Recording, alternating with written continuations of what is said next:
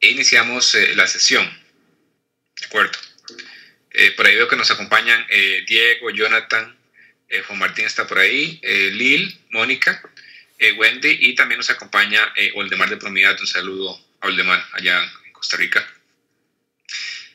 bueno, vamos a, vamos a continuar entonces con el curso, en este caso la clase número 2 eh, continuando con la parte de visualización de datos eh, eh, usando algunos paquetes en R. gracias, Juan Martín.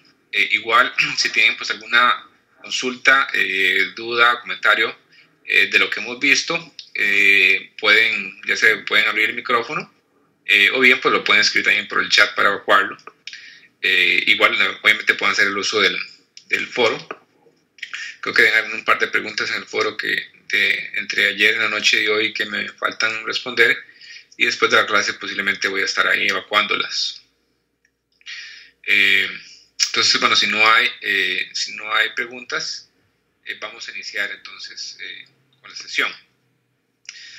Básicamente, pues el objetivo va a ser mostrarles otros, otras herramientas, específicamente otros paquetes de graficación un poquito más avanzados que están disponibles en R en R hay pues bastantes paquetes, ¿no? Siento que se puede estar metiendo un, ruido. Ok. En R pues hay en, el CRAN o, en el, en el este eh, archive, archive, Network de, de, R, pues hay un montón de paquetes, no hay más de 100.000 paquetes actualmente. Y pues eh, muchos de ellos están relacionados con la parte de, de gráficos.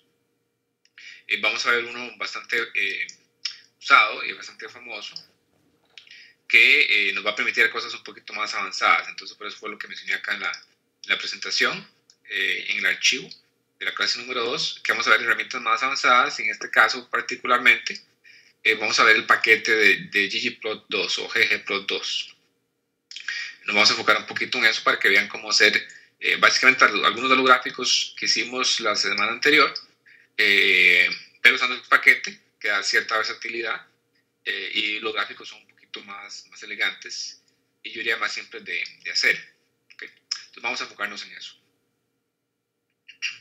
Y nada más que tengo que aclarar ahí también, es por lo que mencioné acá, eh, que bien estos gráficos avanzados, digamos, eh, se pueden hacer con las herramientas básicas, me refiero con los, el paquete básico de graficación, pero requiere un poquito más de esfuerzo, ¿verdad? Pero igual se pueden hacer. Posiblemente no van a quedar tan elegantes, pero se pueden hacer. Entonces vamos a hacer una introducción al paquete de, de ggplot, en este caso utilizando uno de los, de los, de los métodos o funciones más, eh, más simples eh, de graficación eh, que están habilitadas en el paquete, que es el, el qplot o el qplot. Okay, vamos a empezar viéndolo con ese y vamos a ir introduciendo la herramienta por medio de ejemplos. Creo que es más, más fácil pues, ver y entender qué es lo que se, qué es lo que se pretende. Okay. Entonces, antes de ver el ejemplo, voy a explicar un poquito aquí el detalle de los, de los gráficos, de, perdón, de los datos que vamos a utilizar para el primer ejemplo. Eh, toda esa información ya está disponible en el aula virtual. Ya activé la, la, sesión del día de hoy. Y este primer ejemplo que vamos a ver es eh, información relacionada con, procesadores o con chips. Eh, básicamente tiene 10 atributos o, variables, los cuales otros se refieren a measures o mediciones sobre un conjunto ahí eh, pequeñito de, de, de, procesadores, en este caso 200, 209. Información que está ahí, nada más para, para tenerlo todo claro, es un, nombre del vendedor del, del, chip, un modelo, y viene ya la información o, medidas eh, evaluadas sobre esos, eh, sobre esos procesadores. uno es básicamente el, el, el, el reloj del ciclo de, del procesador, cuánto es la memoria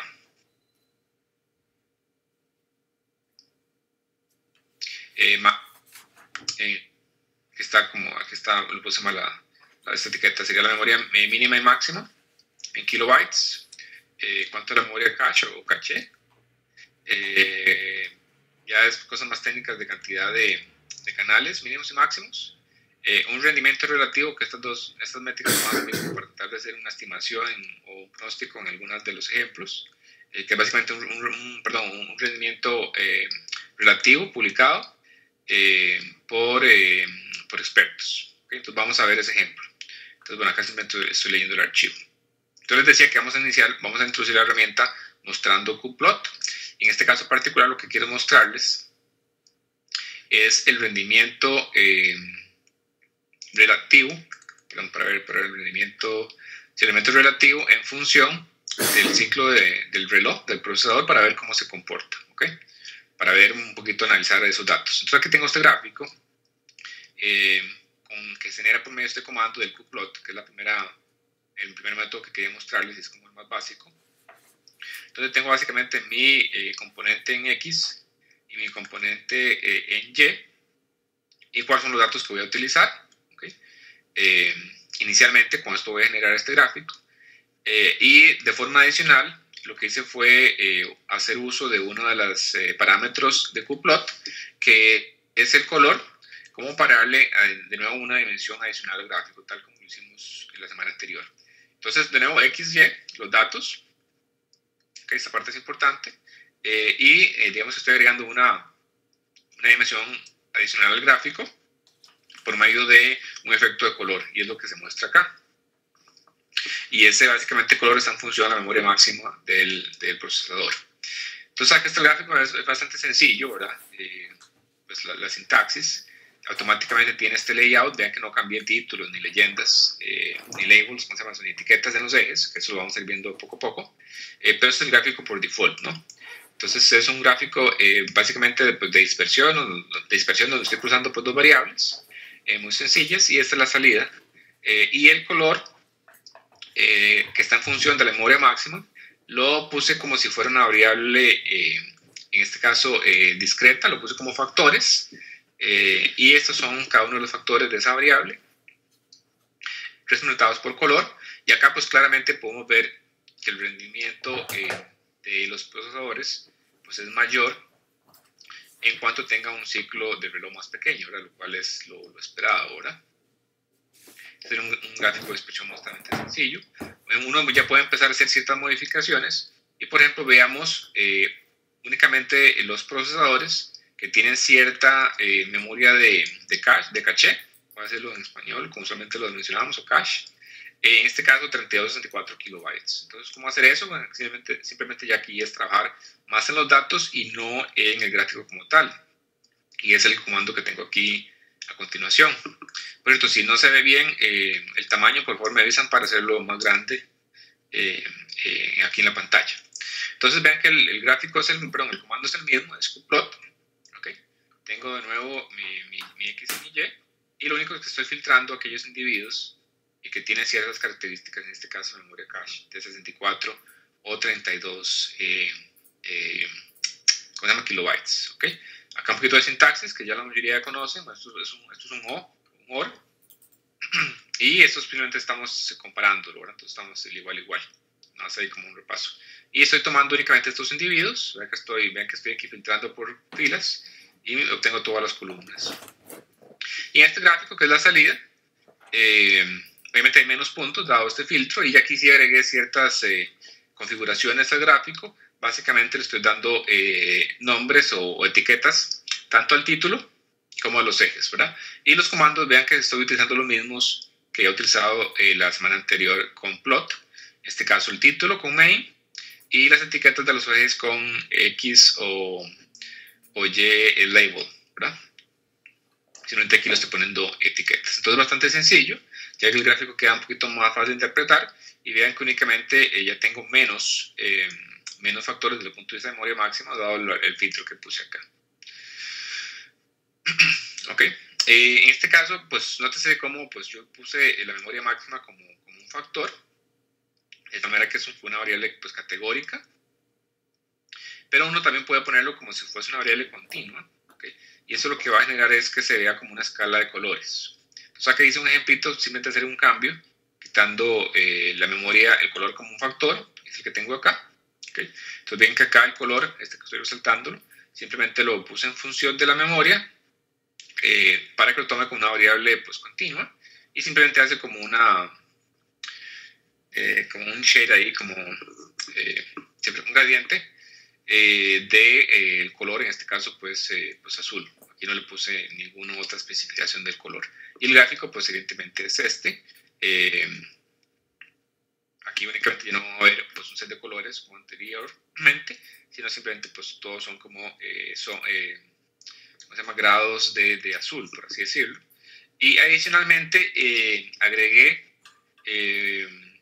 un, una característica que está disponible en ggplot y es el tema, valga la redundancia, de los temas. ¿okay?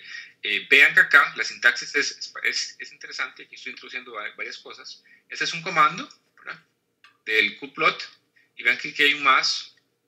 Eh, lo que hace ese más es básicamente ejecutar todo como, como, una sola instrucción y eh, eh, lo que digamos los, las modificaciones o más bien los, en este caso el tema va a afectar al objeto digamos salida del qplot. En este caso lo que estoy adicionando es un tema, esos son predeterminados de, de ggplot y en este caso es un tema de blanco y negro entonces, ustedes ven acá, eh, noten que acá el, background o el, fondo del, del, chart está así en blanco, ¿no?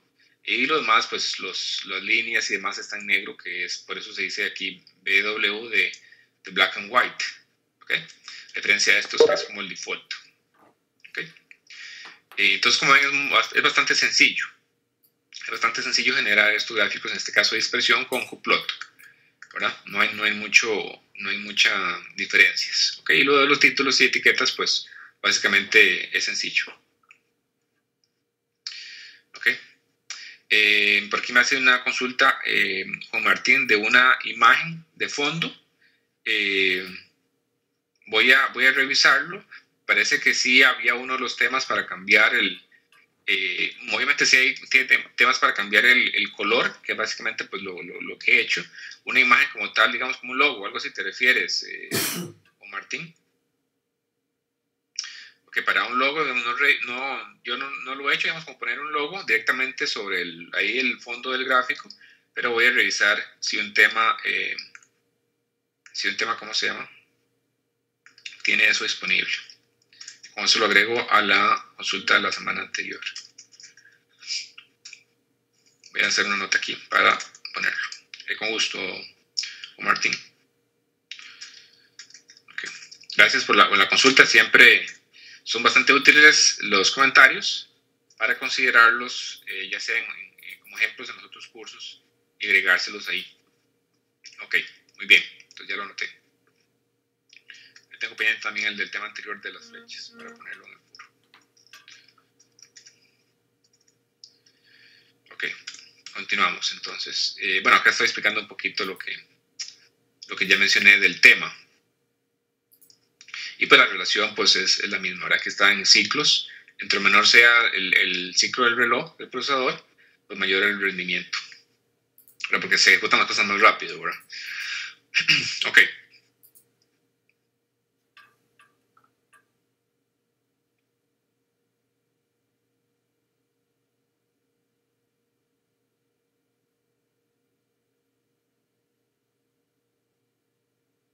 Sentido de cuál es el, cuál es el device eh, o el dispositivo donde yo estoy mostrando eh, la salida, ¿verdad? ya sea un, si es un, un, un documento impreso o, por ejemplo, algo web, etcétera. Entonces hay que tener cuidado con los colores para ver si se ven bien. Eh, o inclusive considerar las audiencias si alguna persona tiene problemas, digamos, visuales, de, de, confundir colores, ese tipo de cosas.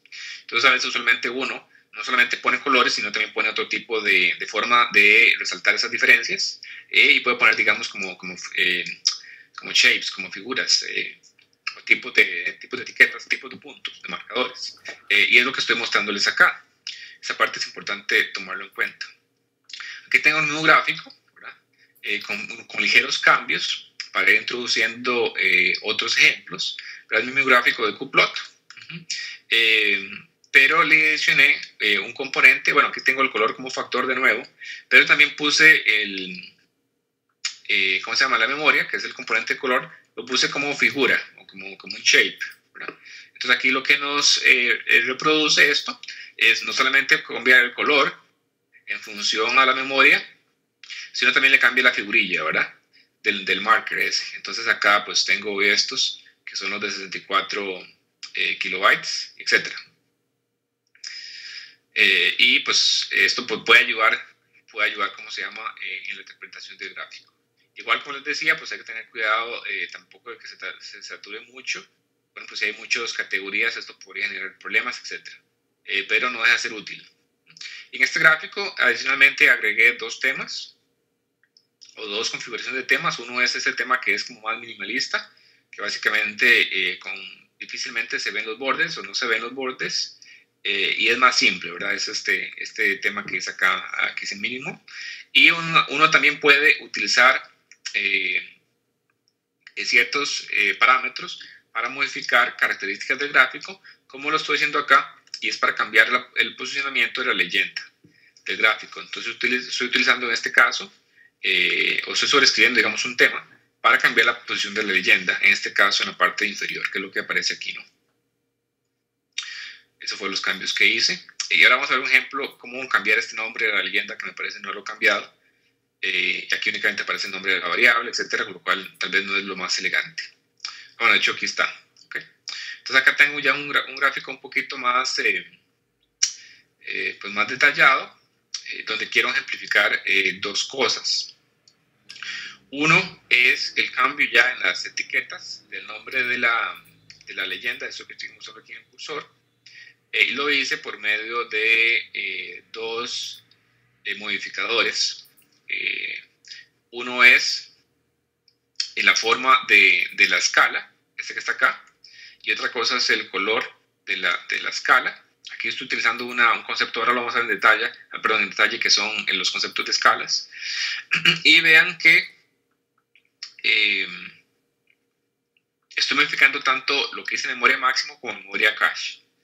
Eh, ¿Por qué tengo dos? Pues tengo dos porque en mi configuración de los parámetros del qplot, eh, para la parte de color, lo estoy especificando con esta memoria eh, cache y la parte del shape o, la figura de cada uno de los marcadores, en este caso de las series, lo estoy poniendo en función de la memoria.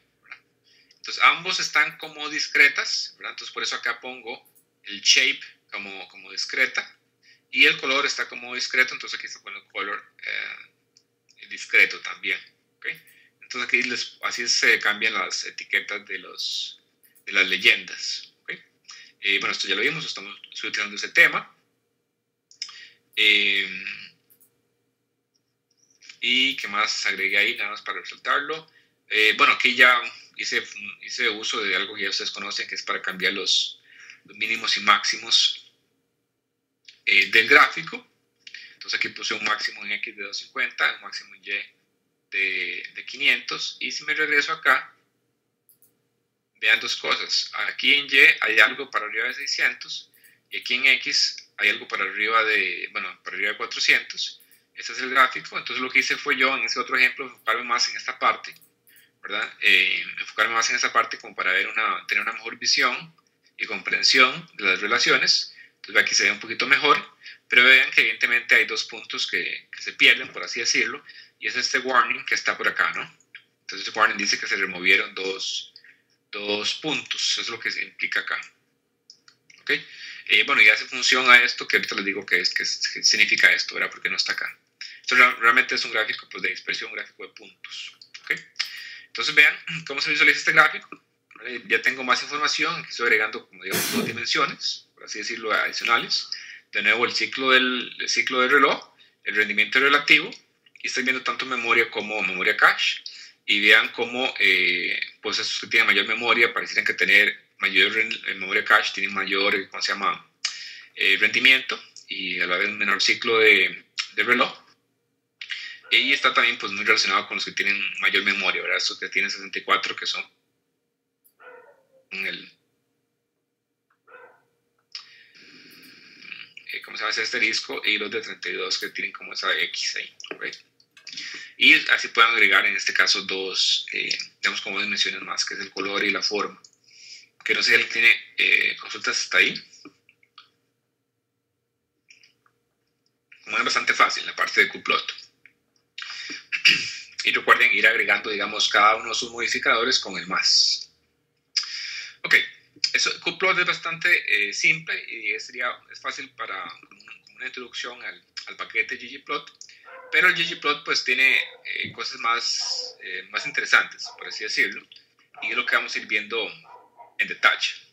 y que nos va a servir para entender algunos de los conceptos que más o menos ya introdujimos con, con, con qplot.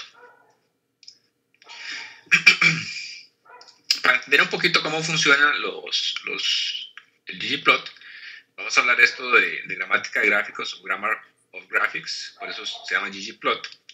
Y eh, básicamente eh, ver los componentes eh, de esta gramática y son los que yo pues ahí digamos listé acá estoy resaltándolo.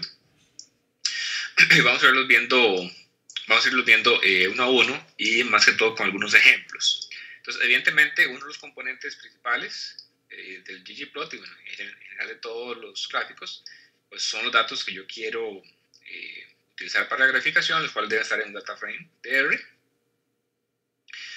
Otro punto importante es el sistema de coordenadas que vamos a estar utilizando. Entonces, lo típico o lo clásico, pues, es utilizar eh, coordenadas cartesianas. No obstante, uno puede, eh, para ciertos gráficos, puede utilizar eh, coordenadas polares o inclusive proyecciones de mapas donde, donde vamos a enfocar más eh, son básicamente en esta parte de tipos de objetos, básicamente yo diría tipos de, de gráficos que modifican al, al ggplot inicial. Y con esta parte de geoms nos va, nos va a permitir hacer bastantes cosas desde el punto de vista de cambiar el, el, ¿cómo se llama? el comportamiento del, del gráfico, eh, en el sentido de, por ejemplo, mostrar un gráfico de líneas o mostrar un gráfico de, de barras, de puntos, eh, un gráfico de dispersión como un boxplot, etc. Entonces esta parte de objetos geométricos es el, que el modificador que nos va a servir bastante para mostrar el gráfico en la forma que queremos. Esta parte de, de eh, o, estética de los gráficos está más en función de esas características de color, tamaño, posición, eh, que nos van a ser importantes. Entonces vamos a ir viendo con ejemplos. Otra parte que está muy eh, relacionada con esta parte de estética es la parte de, scales o escalas. Eh, la parte de eh, stats básicamente está en función de ciertas, ciertas mediciones o ciertas agrupaciones o formas en, que uno quiere ver la, la, información, como conteos, sumas, nos va a permitir, por ahí tengo unos ejemplos, de modificar la información y, digámoslo así, agregarla por ejemplo, para mostrar conteos, un gráfico de barras, etc. Vamos a ver algunos ejemplos. Y esta que es bastante útil, la parte de facetas o facets, eh, nos, va, nos, va, digamos, eh, ampliar las opciones eh, en la forma que yo quiero mostrar múltiples gráficos en una misma área de graficación. Por ejemplo, la semana anterior hicimos un par de truquillos como demostrar dos gráficos y tener un gráfico vacío, de tal manera que podríamos organizar todo en un mismo, en una área de graficación. Con esta parte de facetas, eso es bastante simple en, en ggplot y eso nos va a simplificar bastante la, eh, los, los, procedimientos que hagamos. ¿okay? vamos a ir viendo eh, eh, cada una de ellas, algunas con más detalle que otras, enfocándonos en la parte posiblemente geoms y en la parte de facetas. ¿okay? Entonces vamos a ir introduciendo estos por medio de algunos ejemplos. y vamos a empezar con un ejemplo que tiene información eh, de, bueno, bastante información de, de, algunos moluscos que se llama tipo bulón. Eh, no me preguntan mucho ese tipo, la verdad no, no soy experto en moluscos, pero bueno, es un tipo ahí de molusco. Eh, y la información que está ahí está relacionada con, con, con, ese molusco desde el punto de vista de cuánto, cuánto es su longitud, cuánto es el diámetro, cuánto pesa, etcétera, por cuánto pesa la concha ¿Y cuántos anillos tiene? La parte de los anillos es una, es una estimación o es una métrica que se utiliza como eh, estimado de edad. Entonces, eh, el, el, digamos, el origen inicial del dataset era tratar de predecir la edad en función a estos anillos, viendo las otras características. Entonces, mm, es un ejemplo pues, interesante. Entonces, acá están las variables eh, de ese archivo. Y bueno, ese archivo está disponible en la red virtual y aquí lo que hice fue pues agregarle nombre a las columnas. Creo que no tenía encabezado. Ok. Bueno, aquí lo que hice fue reemplazar más bien cansado porque estaba en inglés. Vamos a verlo.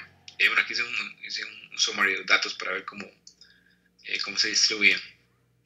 Y empecemos a analizar ese, ese dataset, ese set de datos. Y ya voy a empezar a utilizar ggplot. Voy a pasarme de, de qplot a ggplot para empezar a ver toda esa parte de gramática de, de gráficos, viendo todos sus componentes. Entonces veamos un ejemplo, pues lo más sencillo posible. Entonces vean. Eh, para hacer un gráfico de, en este caso, pues de dispersión, donde estoy cruzando dos variables, que es algo como lo más sencillo y son los ejemplos que hicimos con qplot, eh, tengo que hacer varias cosas. Lo primero, y esto es lo común en todos los gráficos de ggplot, es definir cuál es, cuál es mi set de datos eh, y qué es lo que quiero, cuáles son las variables de ese de datos que yo voy a, a, utilizar. Entonces, eso que estoy marcado ahí eh, es básicamente la instrucción básica que se llama ggplot. Eh, tengo que especificar cuáles son mis datos en, el parámetro de data o data. Y esta parte de, las aesthetics me, me, permite especificar cuáles son las variables que yo quiero tomar en cuenta para el análisis. En este caso, eh, en el X estoy poniendo el peso de la concha del molusco y en el Y la cantidad de anillos, como para ver si hay una relación eh, entre peso y los anillos, ¿verdad? Que me permite identificar la edad. Y el resultado de lo que está ahí abajo. Ahora, esto, como les decía, es el, el componente básico de los ggplot, eh, pero yo después tengo que definirle o tengo que especificarle qué tipo gráfico, por así decirlo, quiero, quiero hacer. Y ese tipo gráfico básicamente lo define el objeto geométrico eh, que esté modificando a la base. En este caso, lo estoy especificando acá. Y lo que quiero hacer es básicamente un gráfico de puntos, o sea, un gráfico de expresión. Entonces, este es el, el geom que tengo que utilizar como para hacer un, gráfico de expresión, lo que sería un scatter plot, por ejemplo, en, en, Excel. Entonces, únicamente con esto ya se me genera este gráfico. Y adicionalmente yo lo que hice fue eh, pues modificar la etiqueta del eje X en este caso lo utilicé eh, por medio de esta, de esta función, de este modificador, que pertenece, digamos, al componente de la gramática del scale o de escalas. Eh, y le puse pues esta etiqueta peso, peso concha, con este espacio cada dado que la variable pues no lo tenía, ¿verdad? Y esta es la salida. Súper sencillo, se parece mucho pues, al qplot, ¿verdad? Eh, pero ahora van a ver las ventajas de utilizar el ggplot con ejemplos ya más elaborados. Obviamente aquí no puse el título. Eh, pero quiero resaltar, digamos, esta sintaxis de ponerlo en ggplot. Y esta es la salida, ¿verdad? Donde evidentemente ustedes pueden ya ver alguna relación, ¿verdad? Entre mayor peso, eh, pues mayor número de anillos. Hay que ver si estas variables impactan o no. Pero uno puede tener, pues, alguna relación. ¿Ok? Esa sería la base eh, que vamos a utilizar para los ggplot. Si alguien tiene alguna consulta, por favor, pues ahí pues lo ponen por el foro o hablan en el micrófono. Por ahí nos acompañan, se nos agregaron eh, adicional los que estábamos del inicio, por ahí veo también a, a, Marlon, a Max y, a, Mónica. Y creo que Jonathan también se nos agregó. Ok, entonces continuemos. Ya voy a hacer, empezar a hacer modificaciones para eh, pues ir mejorando la interpretación del, del gráfico. Entonces aquí tengo el mismo ejemplo, ¿verdad? tengo el mismo ejemplo y eh, lo que hice fue como tratar de replicar lo que hicimos con, con, con qplot o qplot para que vean cómo se hace acá. Y es bastante sencillo. Aquí lo, lo que hice fue pues como adicionar esas dos dimensiones extra eh, de tanto de eh, color y shape. Esta parte se especifica en la parte de, estética del gráfico. Y lo que estoy definiendo es cuáles son esas variables que yo quiero usar para color y para shape. Y en este caso estoy utilizando el, sexo del, del, molusco, que por cierto el dato está especificado como eh, masculino o femenino y como, como infante, que es básicamente los moluscos con cierta eh, eh, digamos, pequeña. Y lo demás, pues lo mismo. Y lo único que hice fue agregar un modificador sobre la leyenda del mismo para modificar, valga redundancia, la posición de la leyenda. Lo que hice fue ponerla pues en esta en este par ordenado. Ahora, ese número pues ya me lo puse y lo inventé, ¿verdad? Normalmente. Eh, y en función pues a su número, ¿verdad? Entonces aquí lo puse en la posición punto 9 en X, que es como por aquí, y punto 2 en Y, que sería como por aquí, ¿verdad? Más o menos ahí. Eh, y eso pues me pone la leyenda acá. ¿Ok? Entonces aquí pueden ver, ya pues daba información más, más interesante, ¿verdad? Eh, eh, o adicional. Por ejemplo, acá, eh, evidentemente, como para determinar la edad, en función del peso de la concha, para aquellos moluscos que son, digamos, más jóvenes, pues tiende, tiende a, no ser tan, tan exacto, ¿verdad? Cuesta más a que están concentrados como esta parte. Evidentemente es porque tienen menos anillos. y las otras, pues, se muestra tal vez una relación más, más clara. ¿Ok?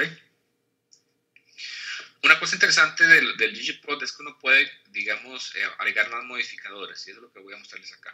En este caso, pues tengo acá mi, gráfico, básicamente un gráfico ahí de, de, de, dispersión, un scatter plot, donde tengo dos variables, pero yo puedo agregar más modificadores para eh, agregarle más información al gráfico, y ese es el ejemplo que estoy mostrándoles acá, como para agregar una, una curva que aproxime a los datos. Vean que es sencillo lo cual, digamos, posiblemente puede ser más complejo en otras, eh, con otros paquetes de graficación. Lo que quise acá es pues, ver algo, como ayudar, digamos, a la interpretación, para ver si veis un patrón.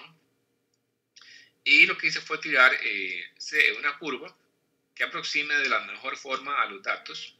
Y en esta cosa, eh, perdón, en este caso, digamos, segmentado por, por sexo. Entonces acá tengo mi mismo gráfico, aquí no, no lo modifique mucho. Eh, aquí, tengo, aquí tengo, perdón, la parte de, los puntos. Esto es lo mismo, pero le adicioné un modificador, tipo objeto, para que ponga una, eh, una línea de mejor ajuste. Ahora vamos a ponerle ahí de, creo que por aquí puse los ejemplos de los métodos. Eh, perdón. Y eso lo que hace es agregar una línea,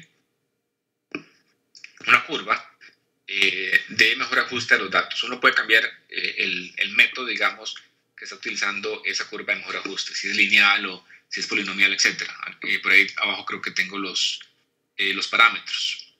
¿okay? Y esto que está aquí en false es para que nos muestre un rango, perdón, un intervalo de, de, confianza de, de estos sobre cada una de las series. Entonces, bastante sencillo.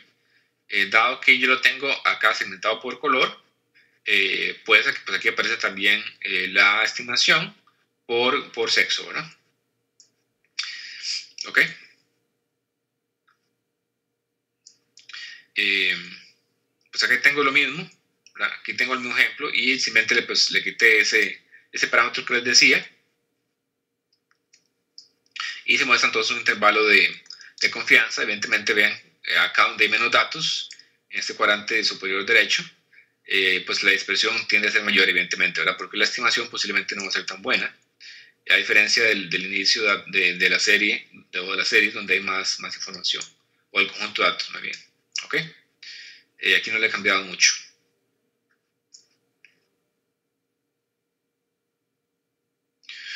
Aquí, pero aquí donde tenía los ejemplos de, de los métodos, eh, esa, esa básicamente, esa curva es, un método de regresión, ¿verdad? Que ajusta los datos. Uno puede modificar el parámetro o el método de, estimación. Uno puede utilizar tanto métodos lineales, perdón, modelos lineales, en modelos, por polinomiales, con este parámetro, que usualmente es el, eh, usado cuando se tienen datos, eh, perdón, de datos con, con menos de mil observaciones, y si tiene más de, de mil observaciones, se puede utilizar otro, otro modelo como es este gamma. Entonces uno puede especificarle el modelo como parámetro, en este caso, a, a la capa esta o, o al, al, geom de, del smooth. Y en este ejemplo que hice acá, puedo especificar ese método. ¿verdad? Entonces este es el valor del, del parámetro para modificar la, el tipo de, de, ajuste y el nombre del parámetro se llama método. Entonces acá está, acá está el mismo ejemplo eh, simplemente eh, lo que hice fue mostrar eh, sin quitar los puntos, ve que acá no tengo los puntos, y tiré nada más, la, la, en este caso, la línea de mejor ajuste sobre los datos, y este es el resultado. ¿Por qué no se ven los puntos? ¿Por qué no se ven los puntos acá? Porque en este comando que tengo, quité el guion de, the point, ¿verdad? Únicamente mantuve este que dice smooth. Por eso no aparece. Entonces ven, ven qué fácil es, digamos, agregar o modificar eh, ciertas cosas dentro del mismo gráfico. Y no tienen que cambiar la parte de gplot, que eso es la base que se mantiene igual. ¿okay? Adicionalmente aquí puse el título y lo pueden poner por medio de, de ggtitle. Así se pone el título del, del gráfico, ¿no? Y es bastante sencillo. Lo mismo, la parte de, ejes y demás, pues no hubo cambio. Entonces, como ven, bastante, bastante fácil hacer gráficos de dispersión, inclusive eh, generar, eh, en este caso, curvas de mejor ajuste sobre, el, sobre los datos, y no tienen que hacerlo, digamos, como separadamente, como lo hicimos en la clase anterior, donde generábamos el modelo y después agregábamos el modelo como con el AVE Line, no sé si recuerdan. Eh, acá únicamente se hace directo con ggplot. Ok. Vamos a empezar a, adicionarle cosas a estos gráficos como para que vean eh, cosas interesantes de ggplot. Y particularmente vamos a ver el tema de, las facetas, eh, que es como básicamente eh, segmentar mi, mi, gráfico en subgráficos a partir de una variable. eso lo, digamos, lo simulamos en, en ejemplos de la clase anterior y también de la tarea eh, con plot y hacer, digamos, múltiples spot plots en, un mismo gráfico. Eh, recuerden, o una de, de, graficación, recuerden lo que usamos con par y la parte de layout. Pero acá lo hacemos directamente eh, con, con ggplot y únicamente utilizando o, aprovechando la parte de facetas. En este caso vamos a utilizar la, la, parte de facetas, que es esta faceta, facet, facet graph, que nos permite, por así decirlo, segmentar mi, mi, gráfico en función a alguna variable. ¿okay? Entonces vean este ejemplo, vamos a irlo explicando poco a poco. Eh, es el mismo ejemplo, ¿verdad? Donde tengo los, la relación entre anillos, que era la estimación o, la, digamos, el estimado de edad y el peso de la concha, para que está en eje X y eje Y. El color, digamos, y la forma de nuevo está en función del sexo. Eh, acá aquí tengo, perdón, mi eje X, tengo mi título, Está mostrando tanto los puntos, o sea, un gráfico de expresión como la, curva de mejor ajuste.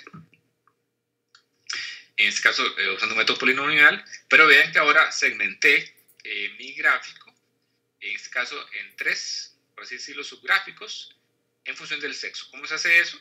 Por medio de esta instrucción, o esta faceta. Y simplemente se pone así, ¿verdad? Se pone el facet graph. ¿Cuál es la variable?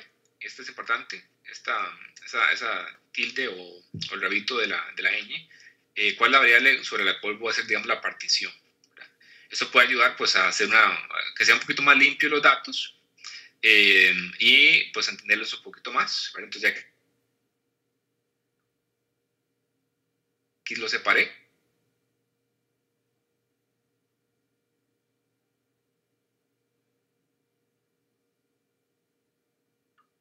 y se hace automáticamente dentro de ggplot. Y este es el resultado. Y eso tiene ciertas... Eh, muestra los tres gráficos. Acá está la etiqueta del, del sexo. Acá estaba eh, femenino, masculino. Y esos eran los, los pequeñitos. Eh, los, los, los, infantes. Eso significa la, la... Eso es una I. Significa infant. Son los moluscos pequeñitos. Así lo vienen en el set de datos, vienen clasificados de esa, de esa forma, con gusto. Y acá mantengo la, la, escala, que esta parte es importante, ¿verdad? Para no perder tampoco eh, dimensión de la información. Esta es la parte de, de facetas que quería mostrarle con este ejemplo. Eh, creo que tengo más, pero es bastante sencillo. ¿ok?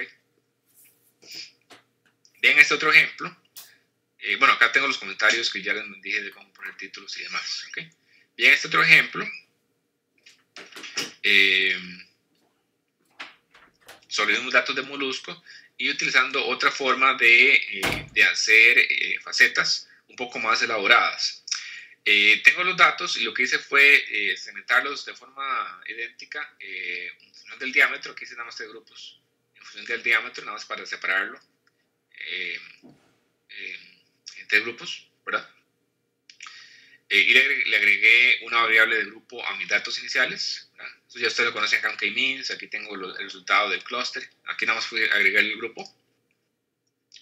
Y tengo el mismo gráfico anteriormente, eh, pero en vez de este que hice Fastest Graph, lo que hice fue hacer un, un grid, como una, una, cuadrícula. ¿Qué me va a permitir eso? Pues ver más detalle. ¿verdad? Eh, ver más detalle porque realmente lo que estoy haciendo es cruzando dos, dos variables. Entonces vean que aquí lo que hice fue eh, pues hacer como un, bueno, un grid, ¿verdad? una cuadrícula, eh, utilizando esta, esta faceta que dice eh, Faster Grid, y lo que hago es ver el sexo tanto como el grupo que acaba de calcular previamente. ¿okay? Recuerden que el grupo está en función del diámetro. ¿verdad? Entonces acá lo dividí ordenado, pero bueno, no importa. El grupo 2 son los de menor diámetro, el grupo 1 los de mayor diámetro. Entonces ven, vean acá cómo también se ve alguna relación. este grupo 2 son los de menor diámetro, ¿verdad? Eh, como estos, entre menor sea, el, eh, menor sea el diámetro, eh, pues evidentemente está como relacionado con el peso de la concha, ¿verdad? Y esto para todos los, para todos los géneros, ¿verdad? Ya sea femenino, perdón, masculino o bien los infantes. Entonces, entre mayor el diámetro, menor el diámetro, pareciera que también pues, está relacionado con el peso y pues con la edad, ¿no? Entonces, ustedes pueden ver, digamos, esta cuadrícula eh, que pueda dar mayor información, eh, evidentemente, en este caso usando dos variables.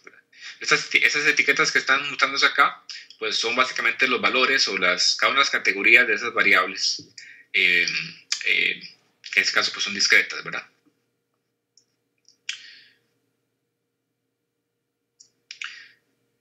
Ok, para cambiar el color de la, de la eh, el, color de la línea, habría que modificar eh, eh, las propiedades del, del, smooth. Aquí lo que voy a poner es un ejemplo, Martín, o Martín, perdón, para, para mostrárselos. Entonces voy a generar eh, algunos de estos y se los subo ahí para que vean cómo cambiar el colorcillo de cada una de las series. No solamente de las series, uno también puede cambiar los colores de los, de los puntos. ¿Ok? Voy a poner ese ejemplo.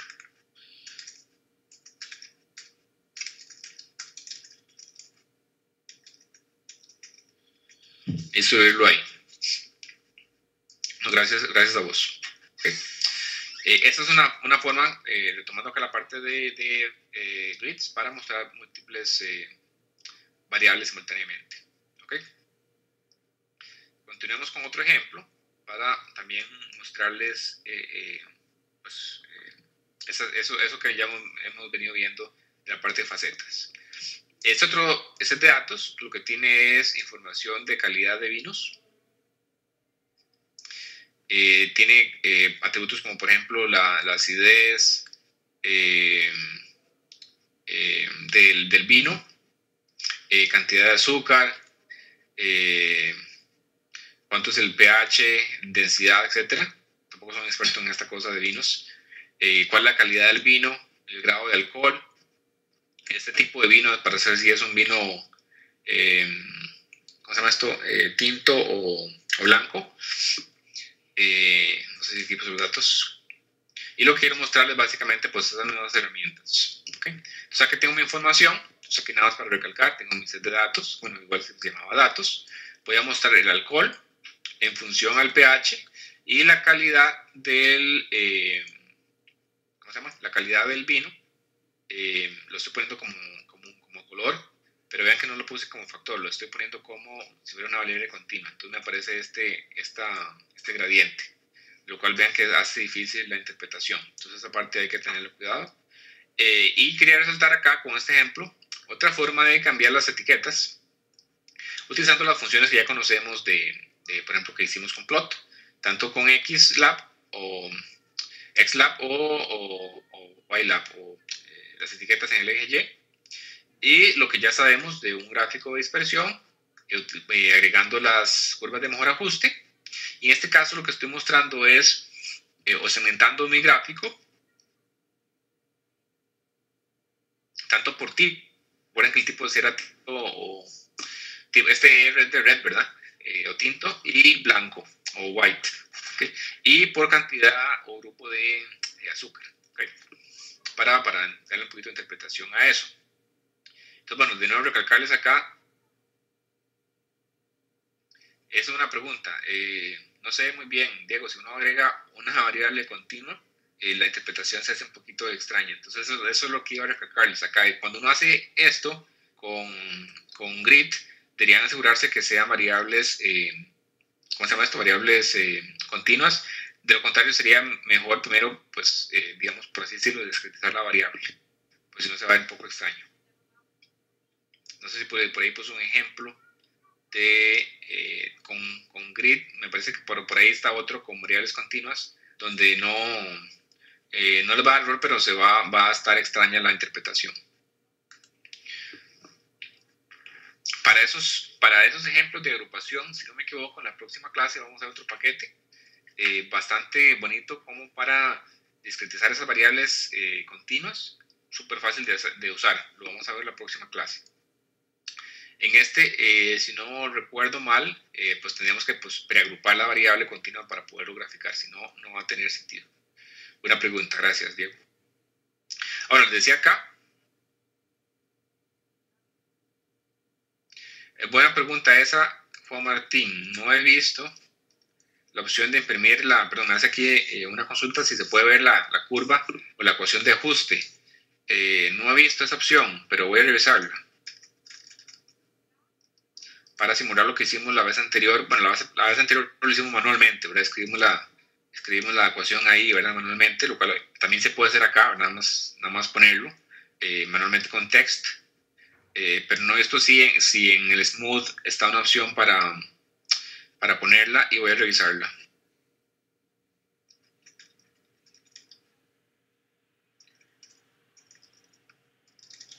Ok.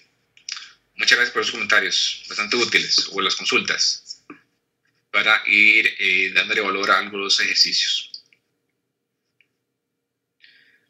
En este ejemplo, eh, dos cosas. Vemos como los, los blancos, los vinos, los vinos blancos tienen pues usualmente tienen mayor niveles de azúcar. Es este, es este 1, 2, 3, 4, 5, etc. Eh, y en, to, en toda calidad, pues aquí no, dado, dado esta forma en que puse los, eh, la variable este quality, pues no se, no se aprecia mucho, ¿verdad? Es difícil verlo, entonces eh, por eso les decía que hay que, hay que, hay que escoger bien, digamos, esta segmentación. Que me hace una consulta, eh, se puede agregar el X gráficos de la parte superior. ¿A qué? Eh, a ponerle estas, si te entiendo bien, eh, Jonathan, acá ponerles aquí el X. Ok, acá no, no he visto, la verdad creo que no se puede.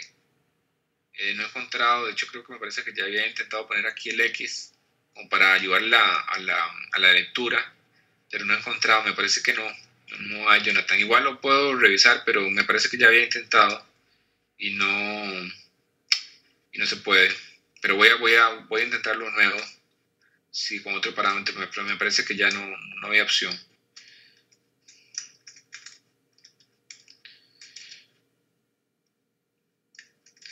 Vamos a ponerlo acá.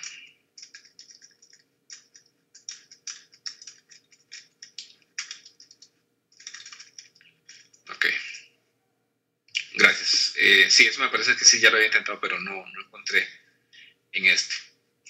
Eh, otra parte importante acá, aprovechando esa consulta de Jonathan, es, es estos valores en Y, ¿verdad? Aquí sí, los, aquí sí los vuelve a poner, dado que bueno, la, vista está en, en, sentido, ¿verdad? En este sentido horizontal. Si no se ponen las etiquetas, pues obviamente la lectura no se puede lograr. Eh, y por eso es que lo pone acá doble. Eh, lo que sí es claro en la consulta de Jonathan es que estos, eh, por ejemplo, estos valores que están acá son los mismos, ¿verdad? Si no, no se pueden comparar. Nada más sería que aparezca duplicado, ¿verdad? Por eso tal vez en el paquete no lo, no lo pone disponible. Eh, también como para limpiar un poquillo acá, pero serían los mismos números, ¿verdad? Porque si no, no serían comparables. Pero voy a revisar si se pueden replicar acá o, o duplicar esa, esas etiquetas del eje X. ¿Ok? Eh, vamos a continuar acá. Bueno, estos eran algunos ejemplos eh, con, con, con eh, Facet Grid y Facet Graph que quería mostrarles. es bastante sencillo, lo, que me gusta de, de, esas opciones es que ya no tienen que preocuparse por aquello de par y, layout, etcétera, con plot, que pues es un poquito manual, o no un poquito, bastante manual y pues complicado, diría yo. Con eso es muy, muy sencillo, hacer las segmentaciones. Un tema que habíamos visto la vez anterior es la, la, parte de distribución y variabilidad de los datos, lo cual pues, es una herramienta bastante útil como para hacer un análisis exploratorio para inicial de la información o de mis variables y conocerlas. eh, en función a eso, pues tomar decisiones, si se aplica un método o si la información uno nota que, que puede tener problemas de calidad de información, etc. Y en el caso de ggplot, pues no es la excepción. Podemos, eh, eh, ¿cómo se llama? Podemos generar gráficos para ver la distribución simplemente utilizando otros, otras capas o, o, en este caso, como es el, el histograma o histogram. Entonces, en este ejemplo que tengo acá, igual sobre vinos, eh, lo que estoy mostrando es mi distribución. En este caso de vinos eh, blancos. Y ver la distribución en cuanto, en función del grado de alcohol. Y eso es lo que estoy mostrando acá. Bueno, eso es lo que puse aquí en las etiquetas. ¿Cómo se hace eso? Bueno, para segmentar los vinos blancos, lo que hice fue primero eh, trabajar un poquito con mis datos y los filtré únicamente para aquellos con tipo, perdón, estos son tintos, vinos tintos, perdón, vinos rojos. Eh, y lo único que hice fue segmentarlo para aquellos con esa característica. Y eh, lo demás, pues el único cambio que hice fue cambiarles el tipo de gráfico, o en este caso el, el guion, y ponerle que sea un histograma. Entonces fue el único cambio que hice para, eh, para mostrar esa información. cosas que hay que resaltar bueno, esta parte de, títulos y etiquetas no voy a continuarlas eh, mencionando, dado que eso es lo mismo. Eh, y en este caso particular, que es un histograma y quiero ver la distribución, vean que en la parte de los X o en la parte de las, de las eh, aesthetics o, la parte estética, estoy mostrando únicamente cuál es mi variable que yo quiero personalizar. En este caso, el grado de alcohol. y listo, ¿verdad? Este, este objeto de histograma pues básicamente lo que hace es ver la distribución ¿no? de, mi, muestra de datos o mis de datos en función de esta variable, también que evidentemente no hay una variable y, ¿verdad? Eh, lo demás que estoy especificando como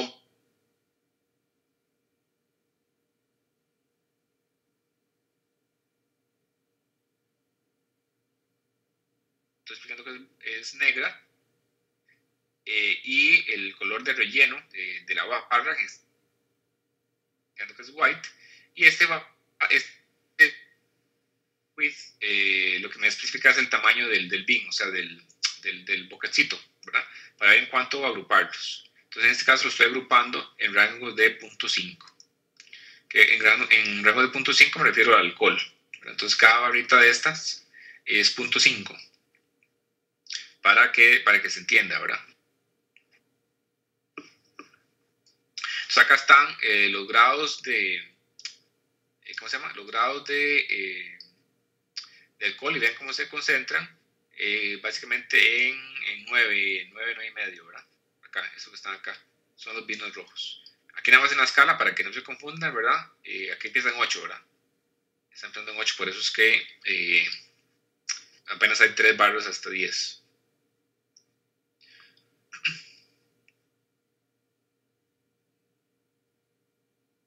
Excelente, eso es para mostrar eh, en ambos lados, eh, Jonathan.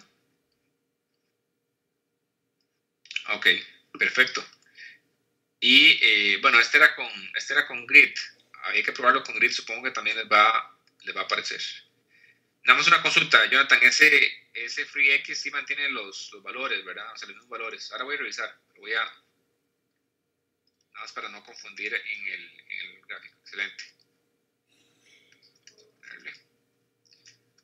Voy a, subir un ejemplo. Eh, Jonathan eh, encontró un parámetro del face graph para mostrar los X en ambos. Excelente. Voy a subir un ejemplo. Muchas gracias, Jonathan.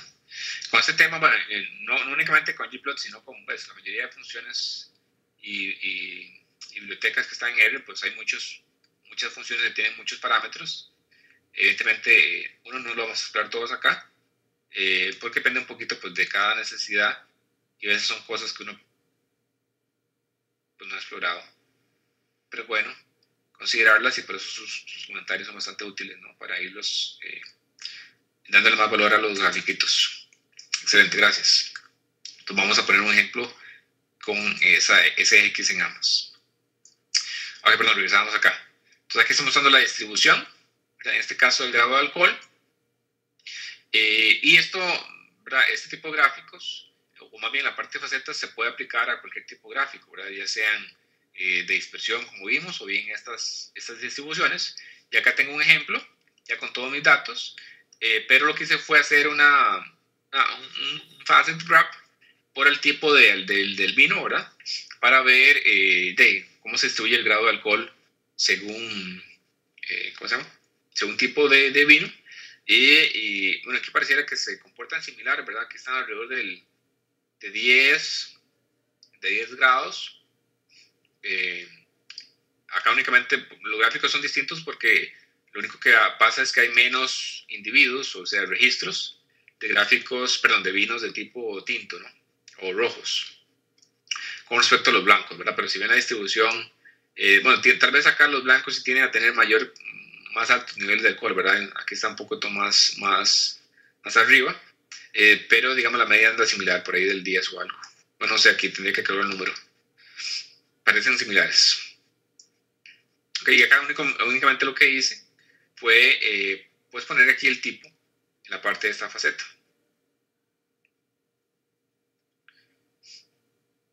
Así que los blancos posiblemente tienen mayor, ¿verdad? Mayor, mayor nivel de alcohol.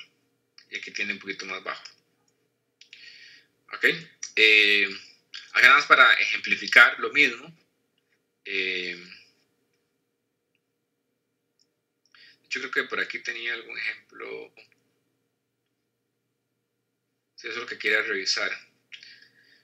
A, lo que buscaste, a lo que Bueno, primero, bueno, antes de ver esa parte, eh, quiero explicar únicamente que estoy mostrando eh, ambos, eh, pues, perdón, usando un grid para mostrar tanto la calidad del vino como el tipo, ¿verdad? Si es como agregar una dimensión más a esto, ¿verdad? tengo el tipo eh, tinto blanco y le agregué una, digamos, una vista más que son los, eh, la calidad, ¿verdad? Que va de 3 a 9.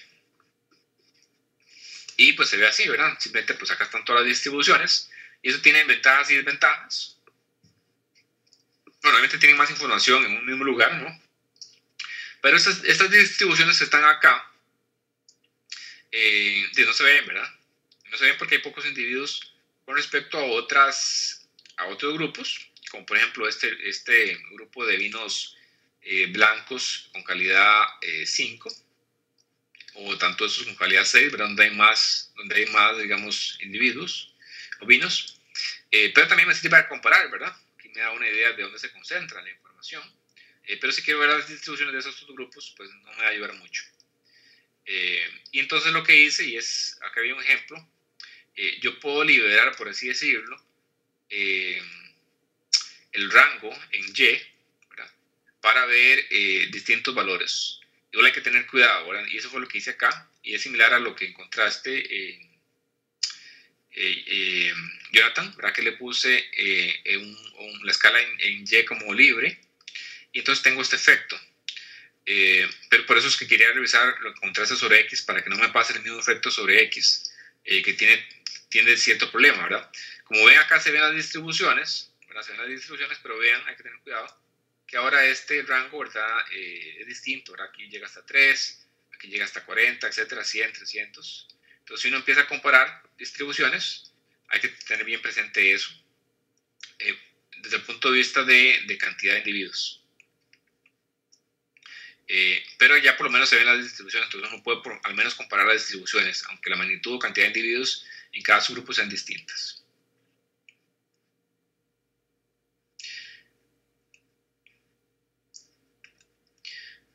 Eh, estás preguntando si se puede comparar, perdón, tiene una consulta de Martín, si se puede combinar con, con, con layout. O sea, varios, varios gráficos de estos. Esa es la consulta, Juan Martín.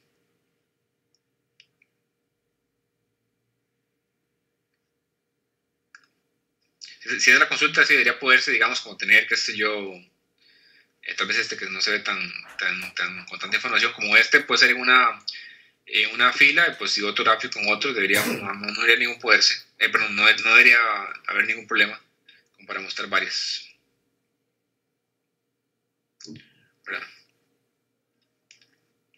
Igual, digamos, si es para instituciones que no se ven, pues podemos hacer esto, ¿verdad? Que es lo que hice acá. liberar la, la escala en la escala en Y, sería este mismo efecto, ¿verdad?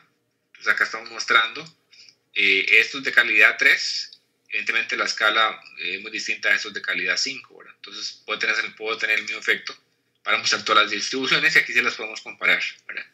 Aquí pues hay, eh, digamos, somos subgrupos donde no hay, no hay ningún individuo, por lo tanto no hay, no hay información. Y estos otros que se ven así, que parecieran como tener dos distribuciones, es porque hay muy pocas observaciones o individuos, entonces se ven así. Eh, pero bueno, se pueden observar, ¿verdad? ¿Ok? Entonces, otra forma de mostrarles la información, y aquí lo que, lo que quiero resaltar es la, facilidad, ¿verdad? Para hacer esas experimentaciones eh, que eh, de otra forma manualmente ser un poquito más complejas. Y en este caso, liberé la escala por medio de este escala libre, ¿verdad? Aquí dice scale free y o free y. Ok. ¿Qué me dice Jonathan? Sobre, eh, me perdió. Para hacer lo mismo o poner acá también la escala, en el X lo que quiero probar es que no se me alteren, ¿verdad? Las escalas porque puede ser que se tienda a confundir. Igual, eso tiene sus eh, beneficios y sus pros y cons eh, en el tanto uno interprete bien los datos. ¿Ok? Perfecto. Eh, continuemos acá. Aquí tengo un gráfico similar, eh, pero lo que hice fue, digamos, como tratar de combinar esa información de otra forma. acá lo que hice fue hacer uso, digamos, de las, de las facetas, ¿verdad? pero también, digamos, puedo representar esa información sobre un mismo gráfico y es lo que estoy ejemplificando acá. Eh, ven que tengo tenemos un, un ggplot, en este caso utilizando histogramas. Tenemos, estoy midiendo el alcohol, pero voy a hacer uso, en este caso, del color de las barras para ver distribuciones. Eh, por ejemplo, en este caso estoy utilizando la calidad del vino como un factor, por eso es que me aparece acá los factores de 3 a 9, para, eh, para ver esa información. en este caso lo que estoy modificando es el, el fill, o sea, el, relleno de las barras eh, para mostrar esa dimensión. Tenemos, tienes ventajas y desventajas, posiblemente aquí hay información sobre, sobrepuesta que no se observa, pero es otra forma de visualizarlo, ¿verdad? Igual pueden poner acá las líneas en las, eh, ¿cómo se llama? Líneas en la, en el histograma como para delimitarlo, sería como parámetros sobre, sobre este geom de histogram. Por aquí tengo otro ejemplo. Eh, como para ver las distribuciones, simplemente como la densidad. Eh, y ven que ya aquí no estoy usando eh, el geom histogram, sino únicamente estoy usando el density para mostrar esa misma información, pero digamos de otra vista, en este caso como eh, la función de densidad ¿no? de, de, esa variable. Igual segmentada en este caso por tipo de vino, ya sea tinto o blanco. Se ven como que básicamente es lo, es lo mismo, ¿verdad? Aquí lo quiero recalcar que es lo mismo, ¿verdad? los mismos componentes, etcétera. Eh, y eh, lo que estoy cambiando eh, pues es el tipo de gráfico que quiero mostrar. y también quise agregar esto, por ejemplo, acá esto que, que tengo para definir como el color de la, perdón, como la etiqueta de la leyenda, como calidad, tanto como lo hice acá, pues en este caso no aplica y ni siquiera se muestra, ¿verdad? Porque básicamente mi gráfico es, es continuo, Entonces esto no aplica. Este field discrete, pues no aplica pero pues no, no, no, no genera problema. Y pues otra forma de ver la distribución, ¿no? Tanto de los tintos como los, blancos. Eh, y este caso, esto realmente no es cantidad que debe haber cambiado la, debe haber cambiado la, ¿cómo se llama? La etiqueta. Porque no son cantidades. Otra forma eh, también de ver esas distribuciones eh, igual, igual de forma de densidad, es haciendo uso de esos parámetros de modificación de, del, relleno como tal. Y de nuevo acá, eh, lo que estoy haciendo es eh, usando la calidad del vino, de nuevo como factores, para que sean, digamos, como discreto. Y acá estoy mostrando, pues lo que, lo, lo, que hice fue lo mismo, ¿verdad? Esto que está acá, perdón que me devuelva, es este mismo gráfico, eh, pero adicionando la parte de, relleno de color al gráfico de densidad, eso fue el único cambio, que hice y este es el resultado, ¿verdad? Entonces es lo mismo.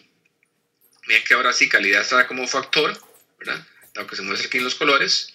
y ahora sí, eh, este, esta modificación para el, nombre de la leyenda pues sí aplica y por eso aquí aparece calidad en español. Y aquí se mueven las distribuciones. De nuevo, esto puede ser dependiendo de, pues, de mi variable de estudio, puede ser más fácil la interpretación o no. Eh, aquí, pues curioso, ¿verdad? En el caso de los vinos blancos, se destaca estos whites, eh, pareciera que los que tienen eh, mayor calidad, esto que dice 9, pues tienden a tener pues, mayor grado de alcohol, ¿no? aquí se observa tanto en los 9 como en esos que dicen 8, ¿verdad? Se muestra que están concentrados acá y en mayor grado de alcohol. Y bien que de nuevo acá las escalas, tanto por tipo R y W o Red y White, eh, son las mismas, para hacer las comparables. Eh, y pareciera que los vinos blancos sí tienen a tener más, más, más calidad, como que pareciera que está concentrado en esta, en esta parte de, eh, ¿cómo se llama?, de calidad, perdón, de grado de alcohol. Si veo también la cantidad, ¿verdad? Aquí como que hay más. A diferencia de los tintos que están como más concentrados hacia acá. Ok. Eso era para ejemplificar es que también puedo usar la parte de fill sobre mi gráfico, sobre mi gráfico de densidad y mostrar pues mayor información. Eh, bueno, acá, acá es el mismo ejemplo, pero simplemente pues cambié, lo puse como color en vez de, de, de fill. Y pues este resultado, ven como que es un poco más complicado interpretarlo, eh, pero se ve en toda la línea, ¿verdad? Dependiendo de, de mis datos, puede ser una u otra forma mejor la, la visualización. Entonces, nada más quería presentar también esa opción, en este caso cambiando el color. Eh, sí que teníamos presente que pues algunas modificaciones, por ejemplo, shape, en algunos gráficos pues no va a aplicar, o por ejemplo el fill en algunos gráficos no va a aplicar, entonces eh, pues tener presente cuándo aplica qué cosa, ¿verdad? Aquí no estamos usando shapes, eh, pues son la, la, la, la, ¿cómo se llama? el gráfico de la densidad como tal, todo es una línea continua, entonces la parte del shape no, no va a funcionar. Tal vez el tipo de la línea sí, ¿verdad? Si es punteado o no. ¿Okay? Entonces, era, esta es una parte de, de distribuciones o, o, de variabilidad de la información que quería mostrarles. Aquí me hacen un comentario. Eh, este caso es más fácil identificar los parámetros de la distribución. ¿A qué te refieres? Perdón, eh, Juan Martín, tal vez no, te entendí muy bien la, el comentario con respecto a que es más fácil identificar los parámetros. A ver si puedes elaborar ahí un poquillo.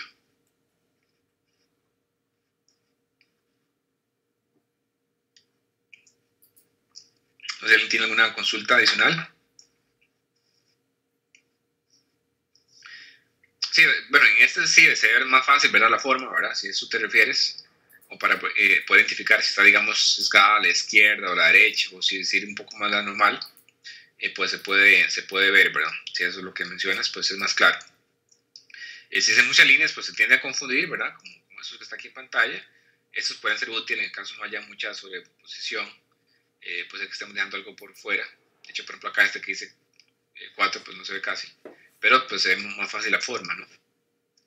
U otra, pues simplemente es, por ejemplo, tener mis distribuciones. Eh, por ejemplo, esto nos ayuda mucho, ¿verdad? Porque sí se puede sobreponer. Poner las distribuciones de, de esta forma, tal vez con menos categorías, y poderlas comparar, ¿verdad? Y ahí ver la, la forma. Eh, por ejemplo, acá en vez de histogramas podemos utilizar las densidades. Entonces hay varias formas de demostrarlo. ¿Ok? Aquí también hay otra forma que también vimos la semana anterior, que era para ver la, dispersión ¿verdad? y la distribución de, la informa, de los datos, en este caso cada variable, eh, usando o, aprovechando, digamos, la herramienta de los, de los gráficos de caja o, los box eh, plots. De hecho, vamos a ver dos. Uno que está muy, muy bonito, que es eso que dicen el violin o, o, violín plots. Eh, y vamos a ver unos ejemplos. Aquí me hace eh, un comentario eh, Juan Martín sobre eh, expresión de genes. Juan Martín, de, hecho, si tienes algún ejemplo de eso, de datos me refiero, me lo podrías pasar como para, para ponerlo ahí un ejemplo y ver qué tal se, se muestra.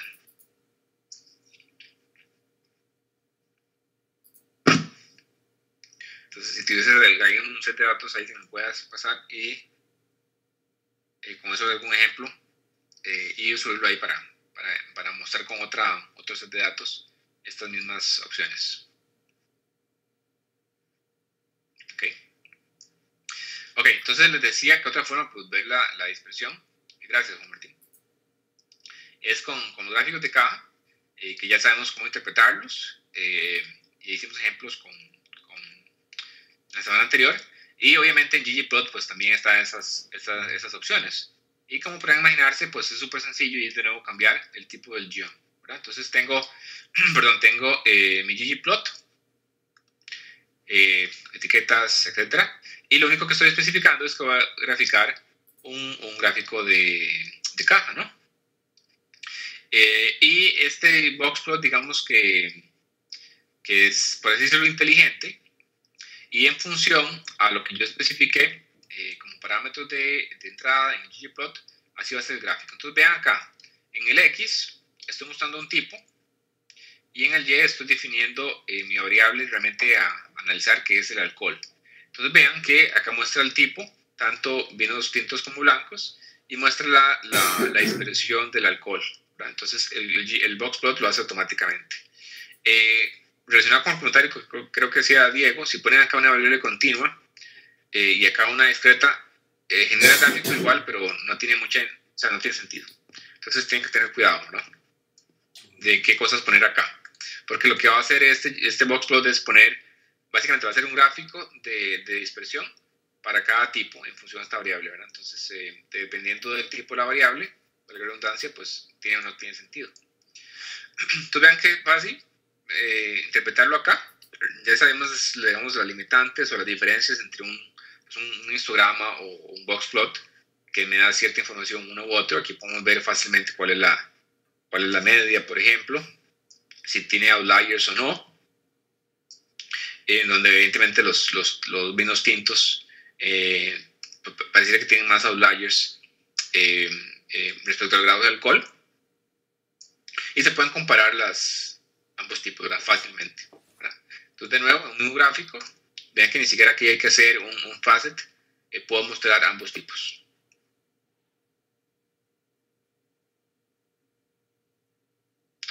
Sí, correcto, Juan Martín. Digamos que con gplot, pues algunos de los ejercicios eh, de la tarea, pues son más fáciles hacerlos, ¿verdad?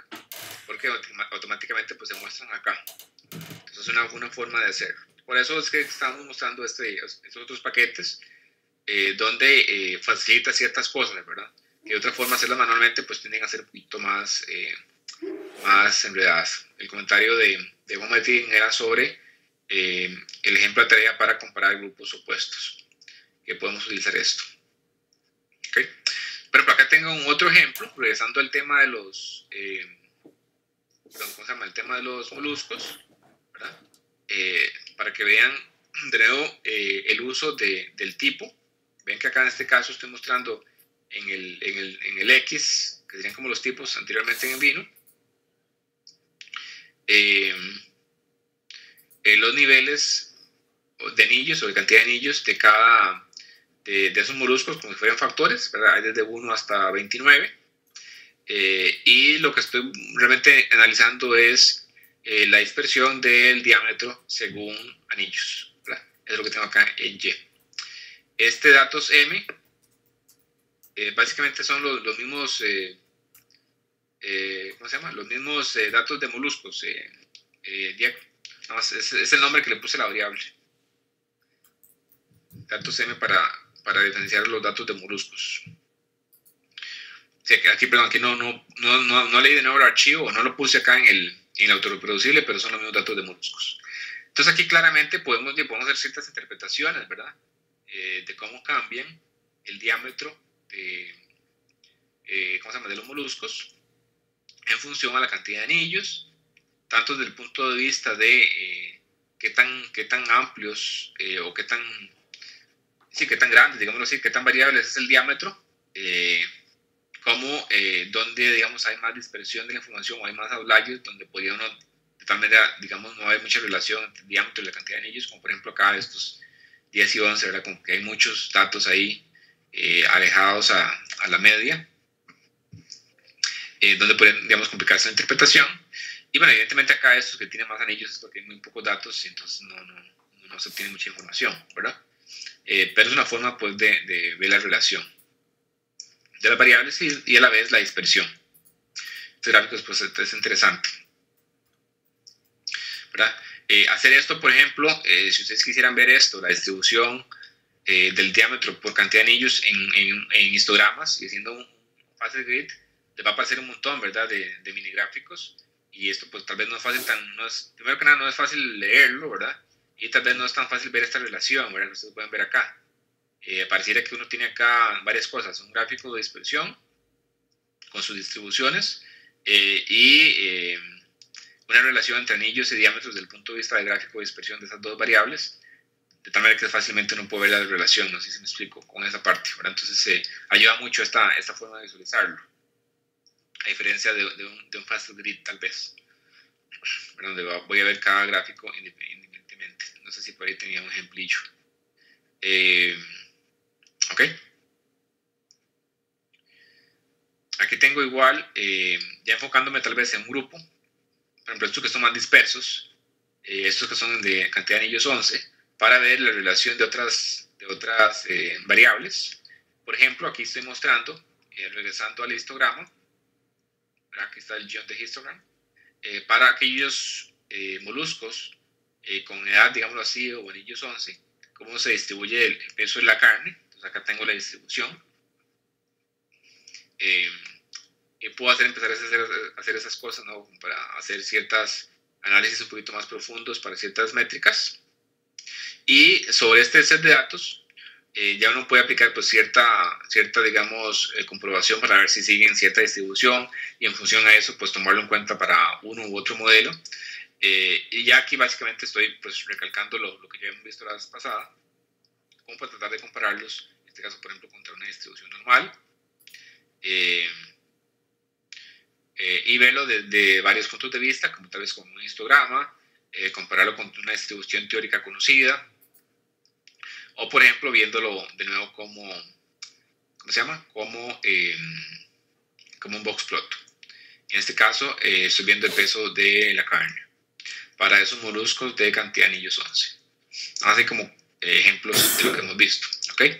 Eh, y les había mencionado que otro, otro gráfico muy, muy bonito, disponible con ggplot, también para ver las distribuciones, se llama gráficos de violín. ¿Okay? Eso me da ciertas, eh, digamos, otras perspectivas que tal vez a veces no se quedan, no, no se notan bien con la parte de eh, un box plot, eh, pero me ayudan a entender un poquito más, digamos, la forma de la distribución. Aquí tal vez la forma de la distribución se pierde, ¿verdad? Porque básicamente me dan dónde están concentrados los datos, cuál es su media, etcétera, sea outliers, pero el shape o la forma de la distribución, digamos que es lo que se pierde con un box plot. Hay un gráfico de violín que es bastante útil eh, y lo quería, perdón, lo quería ejemplificar con este, ¿verdad? Estos son esa distribución de peso de carne moluscos para anillos igual a 11.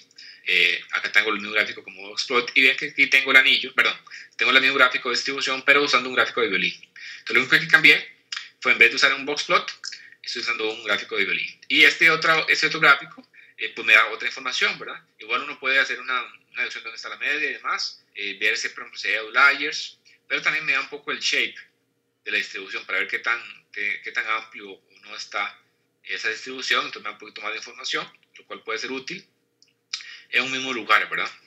Eh, igual, eh, evidentemente, esto es únicamente usando una, sin hacer segmentación, como ustedes podrán imaginarse, yo puedo hacer una, eh, digamos, una segmentación, en este caso por tipo, ¿verdad? Usando la misma lógica que utilizamos para los box plot, tenemos el X, estoy poniendo el, el, tipo, y en el Y el grado de alcohol en este caso.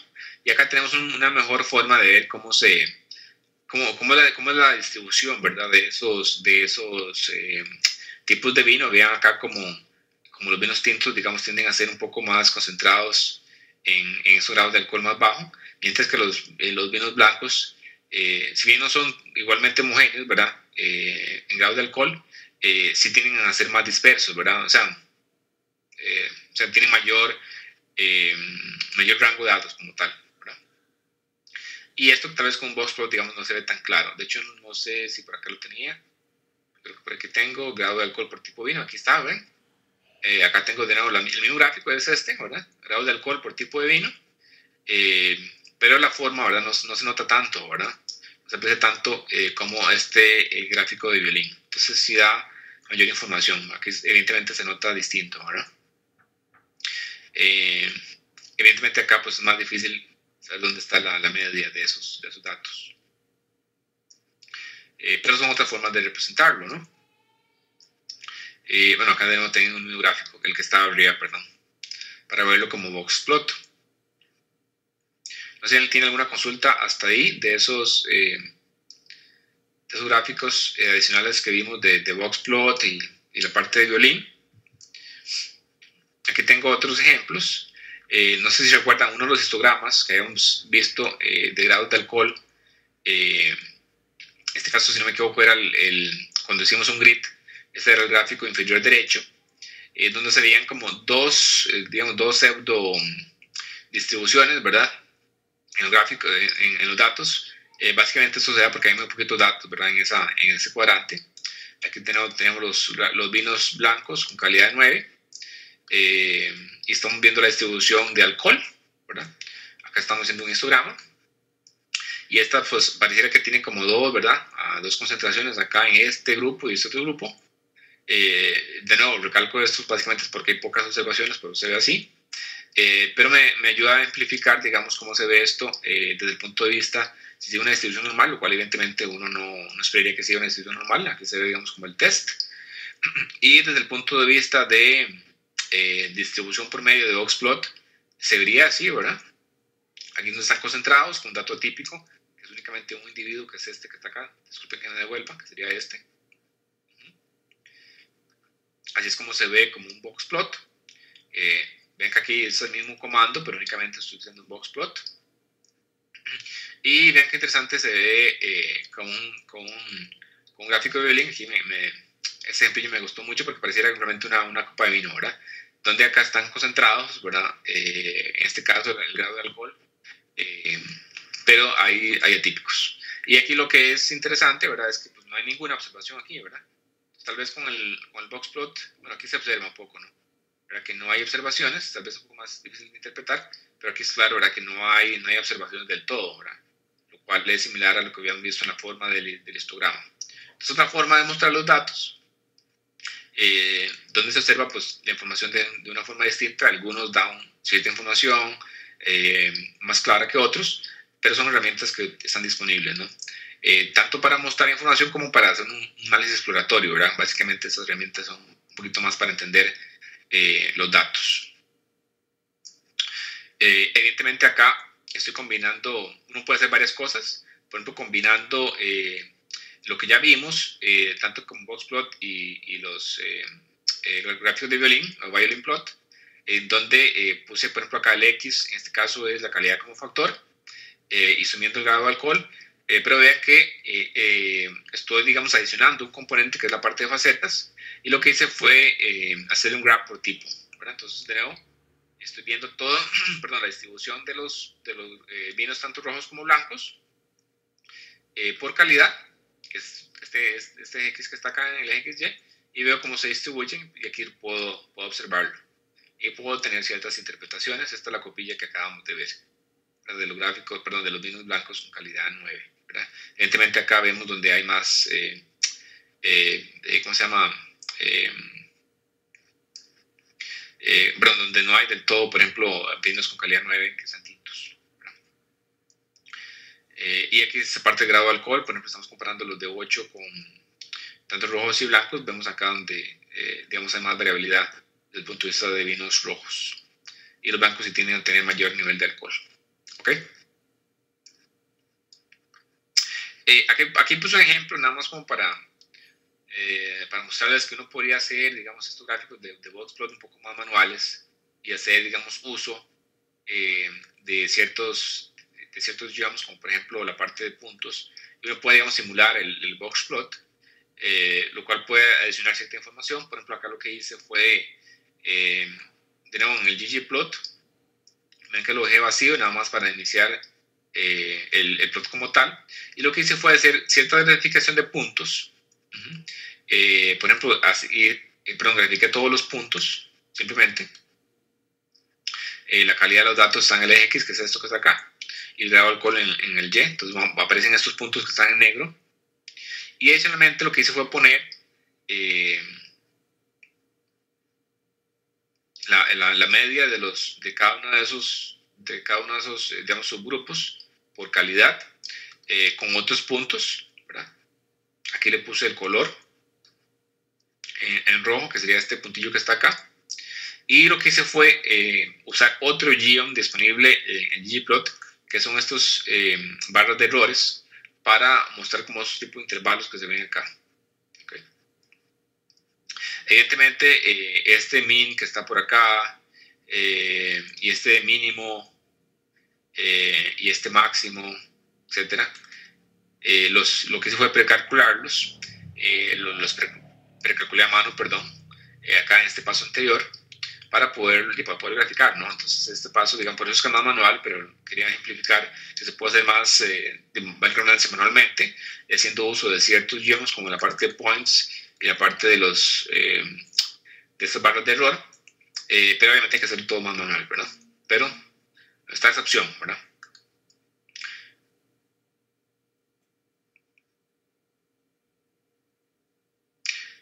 Sí, digamos, esa parte, eh, me, pregunta aquí un Martín de los intervalos de confianza.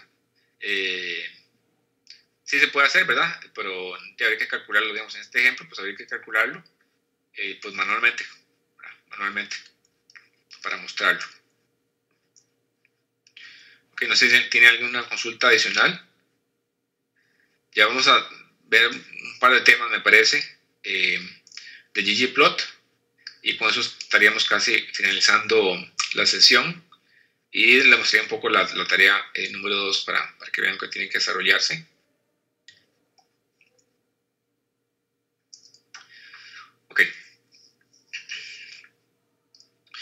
Bueno, aquí tengo varias, varias sets de consultas que me han hecho, aparte de, la imagen de, de, fondo, el color de las series, que básicamente va a ser algo similar a, a esto que está por acá.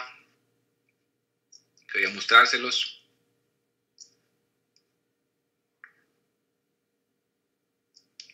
Eh, la cuestión de la serie eh, y revisar la parte de los, de los X para mostrar como ejemplos.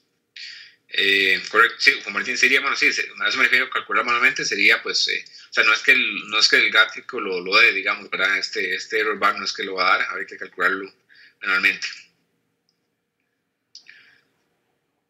Y gracias por por el comentario.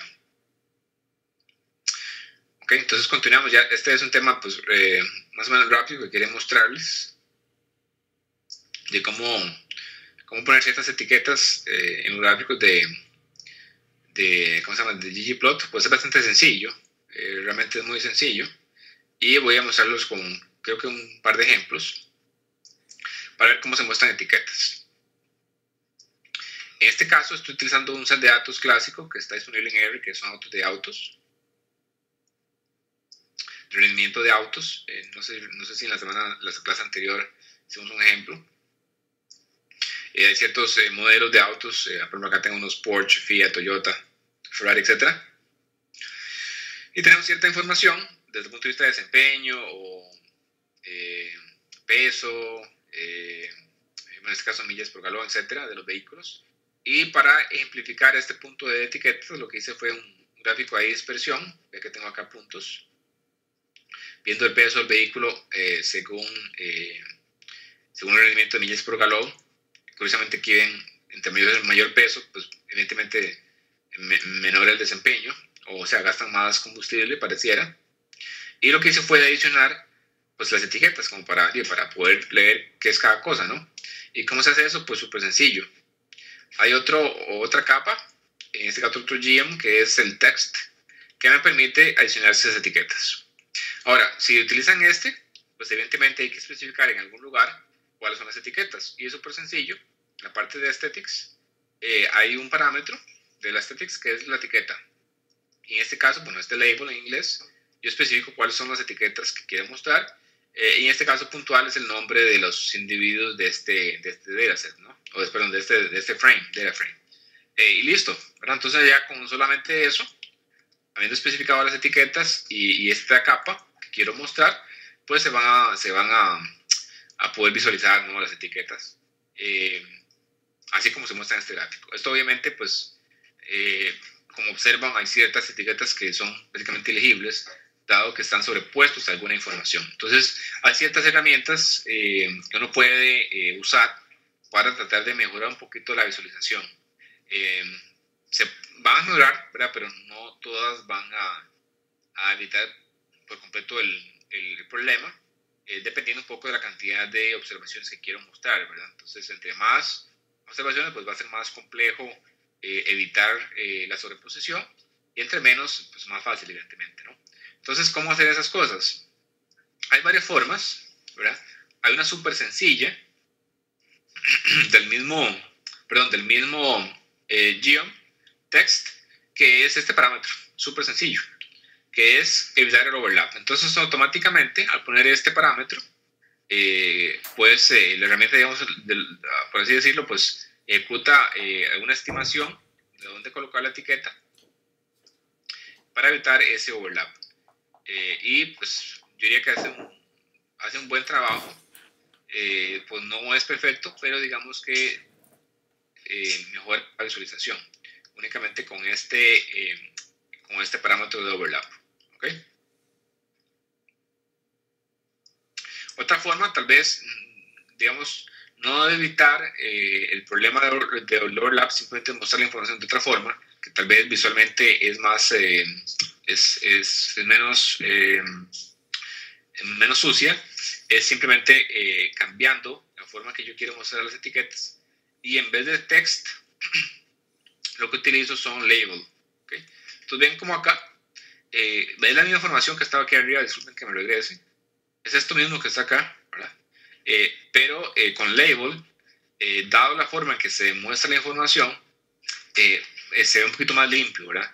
Si bien hay sobrepos, eh, sobreposicionamiento de las etiquetas, pues es más fácil leerlo, ¿verdad? Evidentemente algunas van a estar ocultas, pero eh, es más legible que lo anterior. Pueden utilizar también eh, esta opción de, de label, ¿ok? Eso quería mostrárselos ahí como, como formas de poner las etiquetas, ¿ok? hay más Ah, ¿cómo se llama? Hay más tipos de, de, de, geoms disponibles en el paquete ggplot. Eh, no recuerdo si subí eh, una documentación ahí de, de disponibles, si no lo subo. No sé si lo subí al, al foro, voy a subirlo para que vean otras, eh, otros tipos de gráficos que podrían, podrían hacer, que pueden explorar también. Eh, es otro ejemplo de dispersión. Eh, voy a introducir este archivo, dado que les, va a aparecer en la, en la tarea. Con eso les explico un poquito. Este, este, este ejemplo que tengo acá es con, datos de indicadores, eh, diversos indicadores por país. Eh, y en el ejemplo que tenemos son estas variables bueno, en este ejemplo creo que en la tarea había más información, si no me equivoco, o si no en la siguiente tarea hay más información. Entonces lo que tengo es eh, pues el país al cual estoy, eh, digamos, midiendo estos indicadores.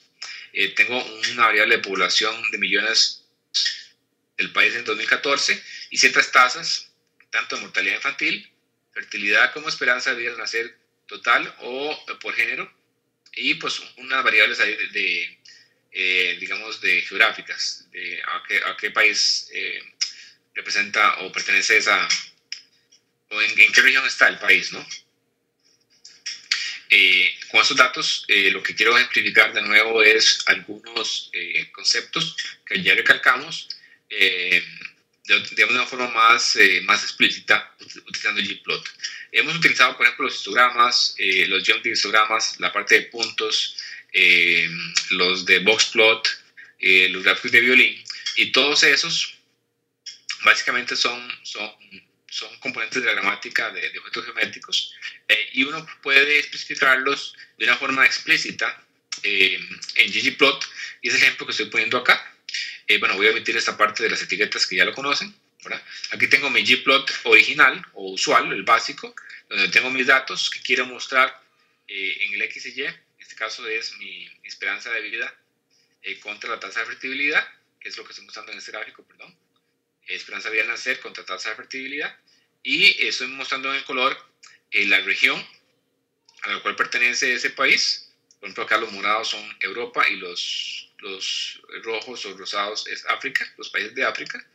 Ahorita voy a llegar a la interpretación del gráfico. Y aquí explícitamente estoy eh, mencionando que quiero, eh, o sea, qué, qué objetos de la gramática estoy modificando. Por ejemplo, acá la parte de guion estoy diciendo que voy a utilizar puntos, o sea, de dispersión. En la parte de, de stats simplemente no voy a hacer ningún cálculo, o sea, no voy a hacer ninguna suma, conteos. Entonces se, se especifica por medio de, de la identity. Eh, y así puedo especificar eh, otros componentes de la, eh, ¿cómo se llama? de la gramática por medio de, este, de esta función de layer. Entonces, otra forma de ponerlo, que nada más para que lo tengan claro. y si se encuentran ejemplos con ggplot, pues sepan a qué se refiere eso, ¿verdad? Entonces, básicamente son modificadores de cada uno de los componentes de la gramática que especificamos. Eh, y pues acá está el, el ejemplo, ¿no? Eh, acá claramente se puede ver una relación clara entre la expectativa de vida al nacer con la tasa de fertilidad, eh, donde aquellos países con, con tasas de fertilidad mayor, pues pareciera que la expectativa de vida tiende a ser menor, y lamentablemente pues está concentrado en, países de, África y después un poquito en, países de, Asia y bueno, de Oceanía, ¿verdad? Mientras que en Europa, claramente, y, bueno, bastante en América, eh, mayor expectativa de vida al nacer con menores tasas de fertilidad.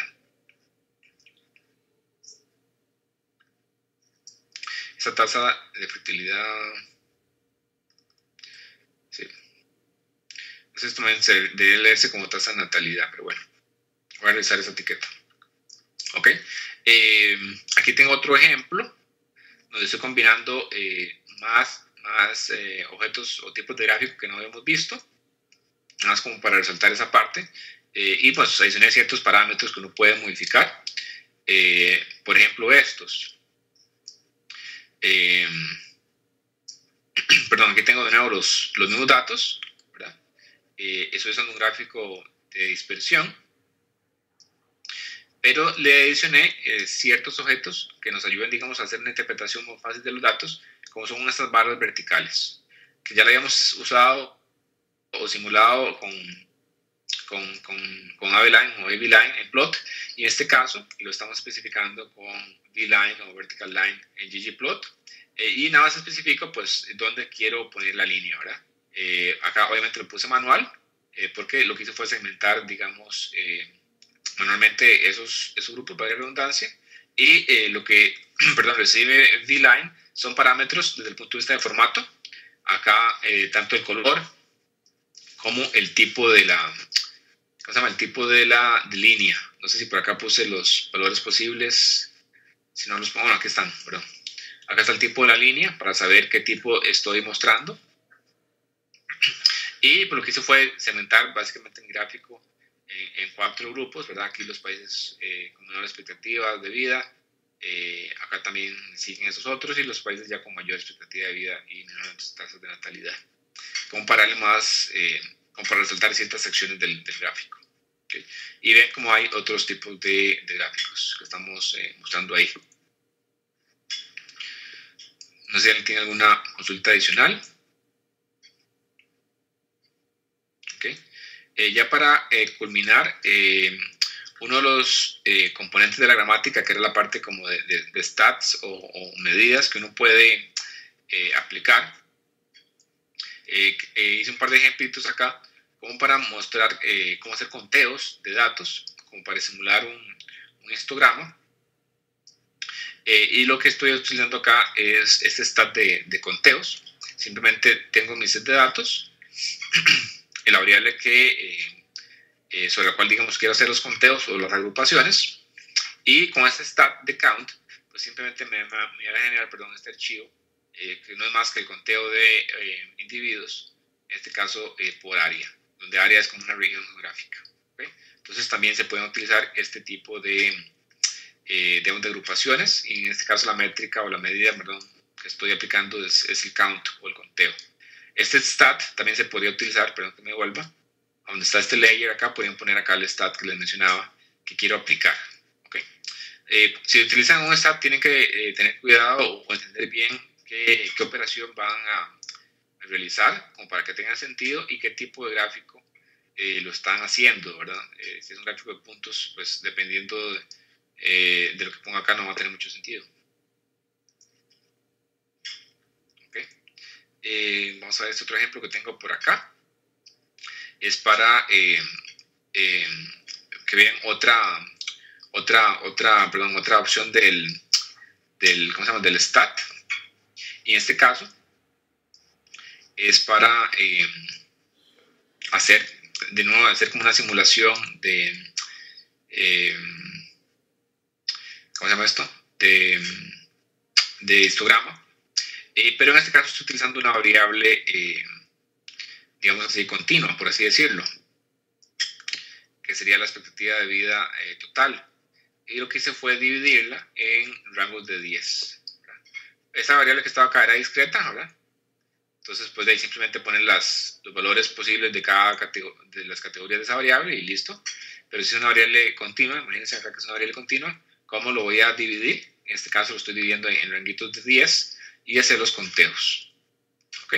Y de nuevo pueden hacer ciertas eh, parametrizaciones o configuración de, de, propiedades. En este caso ejemplifiqué, por ejemplo, con el color de la, de la línea. Si fuera, si quieren, si quieren hacer el relleno, sería con fill, por ejemplo para que vean cómo, cómo hacerlo. ¿okay? De nuevo, estos son conteos, serían conteos. Em,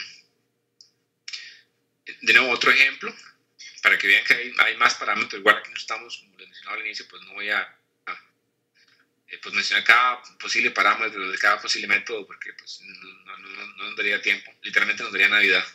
Eh, y acá simplemente lo que estoy ejemplificando es que estoy modificando la forma en que estoy eh, mostrando esos, esos conteos, en vez, de, perdón, en vez de hacer esta barra, que es como el default, estoy haciendo como estas, estos style o graditas, ¿verdad? por así decirlo, estas líneas, para ver la distribución. Dependiendo de la, de la métrica, eh, puede ser útil, ¿verdad? Verlo así. Y vean que de nuevo, pues simplemente acá para ejemplificar, eh, puedo hacer siempre uso de, de, lo que ya conozco, por ejemplo, la parte de facetas. y en este caso lo que hice fue segmentarlo por, por área. Entonces ven que acá están las áreas, ¿verdad? Cada una de ellas. Eh, y veo la distribución en este caso, eh, eh, ¿cómo se llama? De, de expectativa vial nacer. Y aquí de nuevo veo las mismas, las mismas conclusiones, ¿verdad? Por ejemplo, acá tengo, esto es Europa, ¿verdad? Donde hay más países, evidentemente, con mayores o con más cantidad de países donde la expectativa de vida es, es alta, ¿verdad? Más de 70.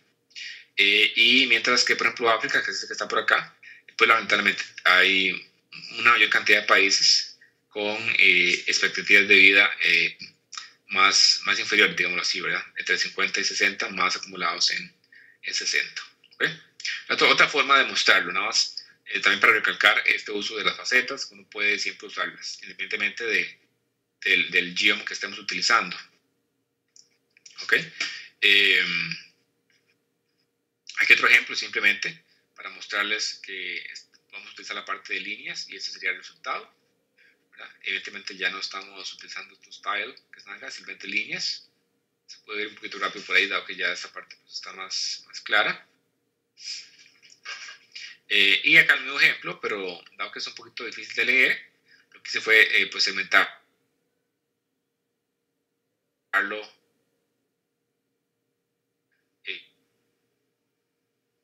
de las facetas. El mismo ejemplo, pero con facetas.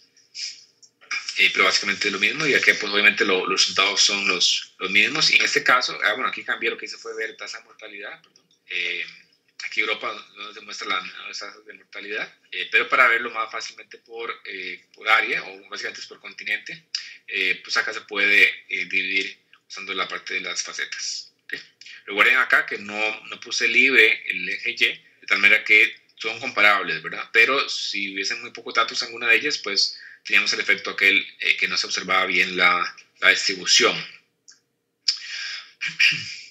Esta parte también es interesante y quería mostrarles con un ejemplo, eh, donde uno puede hacer ciertas modificaciones en la forma en que estamos mostrando el gráfico.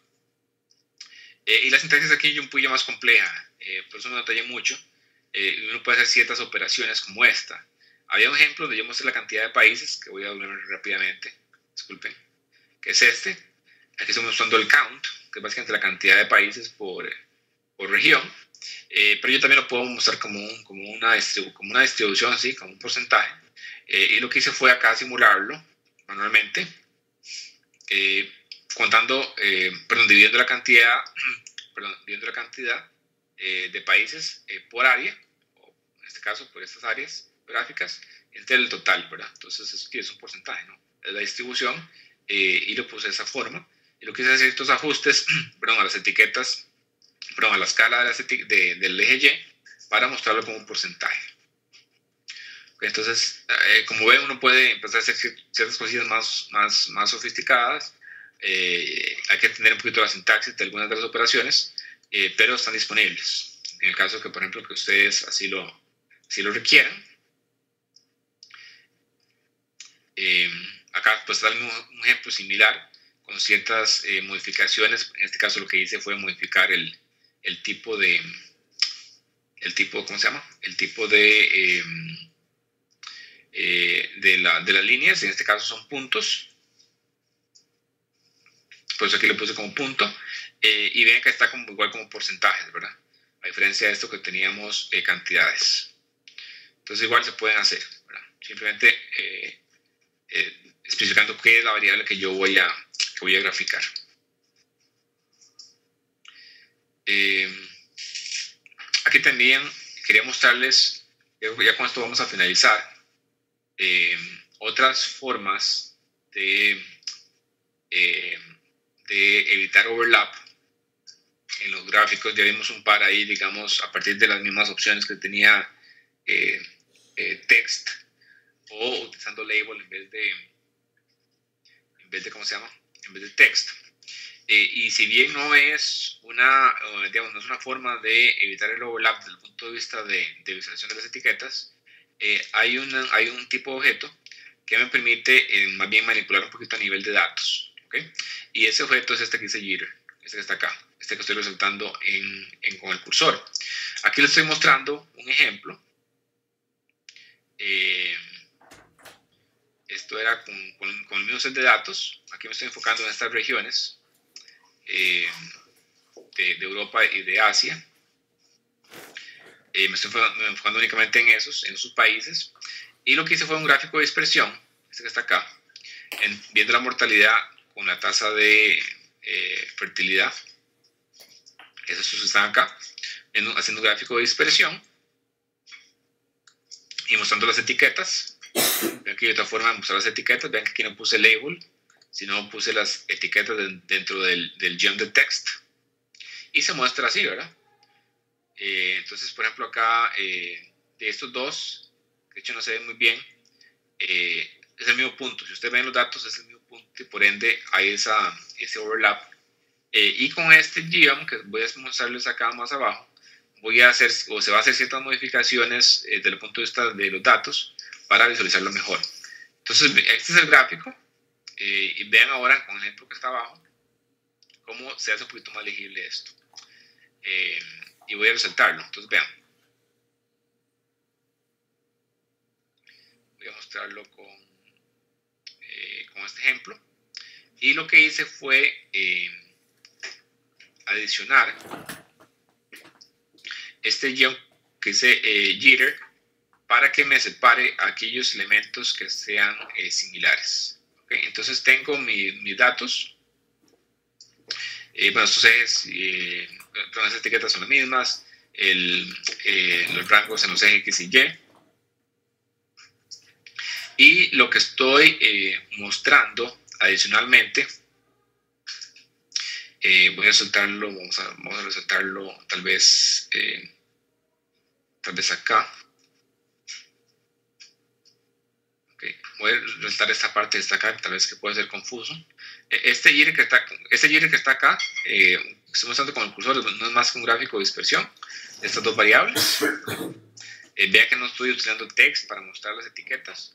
Voy a hacerlo, voy a hacerlo manualmente para resaltar todos los países que me, interesan. Y eh, en el gráfico lo que estoy resaltando es eso, ¿verdad? Vean que puse acá un círculo. Eh, ese círculo, ¿cómo lo puse? Lo puse por medio de lo que tengo resaltado en el comando, esa instrucción, que básicamente es un punto con estas coordenadas 3 y 1.1 y lo que hice fue ponerle un tamaño a ese punto. Realmente se convierte en un círculo. Eh, y le estoy poniendo la forma. Esta forma es para especificar que básicamente eh, no está rellenito, ¿verdad? Y le puse el color rojo. Entonces lo que hice fue agregar ese punto y vean cómo eh, aquí ya los puntos se distancian. Aquí también no se aprecia mucho. Si ustedes ejecutan varias veces este jitter, esto va a variar un poquito porque es un es casi aleatorio que empieza a tratar de, digamos, separar esos puntillos, esos que están acá. Inicialmente estaban totalmente sobrepuestos y acá los separó un poquito. Eso es lo que quería simplificar con Jitter y, eh, o, Jitter. Y lo que hice adicionalmente para mostrarles que uno puede eh, poner etiquetas si uno quisiera, pues manualmente, ¿verdad? Y eh, en este caso lo que hago es uso de la función que hice esta de anotación, o dice annotate. ¿okay? Y lo que especifico es pues los parámetros básicamente de coordenadas, bueno, que voy a agregar un texto y las coordenadas de ese, de ese texto y cuáles son la etiqueta como tal, en este caso se pone el país Portugal y el color. Y acá también puse la de Corea del Sur. Entonces esta, esa es otra opción eh, que está disponible para eh, tratar de evitar esos overlaps. Eh, no siempre va a ser posible y tal vez hay que hacer algo más manual, pero están disponibles. Pero están disponibles para, para sus opciones. Eh, este warning que está acá de nuevo, eh, recuerden que usualmente se genera cuando estoy, digamos, eh, enfocándome tal vez en una región, por ejemplo acá de 1.4 y de 1.5, y hay elementos en los datos que salen, están fuera de ese rango, y eso es porque yo definí los límites manualmente, ¿verdad? Que es eso que estoy resaltando acá. En este caso, nada más para resaltar ese comentario que está por ahí. no sé si tienen alguna consulta. y esos ejemplos que están acá, eh, lo que hice fue eh, eh, cambiar el tema de los gráficos para que vean que se pueden modificar ciertos atributos desde el punto de vista de color. Es una forma de ponerlo. Por ejemplo, acá lo que hice fue cambiar el color de todo el tema. Lo que hice fue ponerlo en azul. Entonces van a ver como tanto el título como los ejes están en, ¿cómo se llama? Están en, en azul. Y adicionalmente uno podría sobreescribir componentes específicos, como por ejemplo el eje X que está en verde, aquí lo que hice fue pues eh, ponerlo en verde, ¿verdad? Entonces eh, son cosas desde el punto de vista de visualización de colores, formas, eh, tamaños que podrían modificarlo directamente sobre el tema. E inclusive si modifican el tema pueden de nuevo sobreescribir elementos particulares muy puntuales. En este caso, por ejemplo, las etiquetas del eje X en punto la sintaxis eh, y los componentes que hay que usar, pues van a depender de lo que quieran cambiar. Eh, podría ser que, hay, que, haya, que, haya, que hacer alguna, alguna, alguna búsqueda, digamos, para ver exactamente cuál lo podía modificar. Eh, pero una vez que eh, se familiaricen con, con las mismas, digamos, propiedades, pues es fácil, ¿verdad? es fácil su uso. Y acá simplemente está otro tema para cambiar el, el ¿cómo se llama? el, gráfico, el tema gráfico. Aquí lo que hice fue manualmente modifiqué eh, los colores que yo quiero mostrar en, mi fill de las barras por medio de este eh, fill manual eh, y también la posición de la leyenda que ya la habíamos explorado con, esta legend position. Son formas de modificar básicamente el, para, perdón, el tema del, del, del, gráfico que están disponibles. básicamente todos los eh, componentes del gráfico, etiquetas de los ejes, eh, los, las leyendas de los ejes, eh, obviamente la leyenda como tal, el título, colores, etc. Todo es básicamente modificable o parametrizable. Y usualmente lo que vamos a apoyarnos es, de nuevo, en, la parte de temas para hacer esas modificaciones.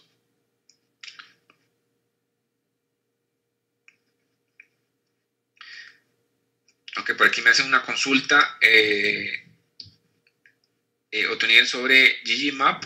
Eh, no lo agregué, no lo agregué, eh, Otoniel, en esta parte de, de ggplot.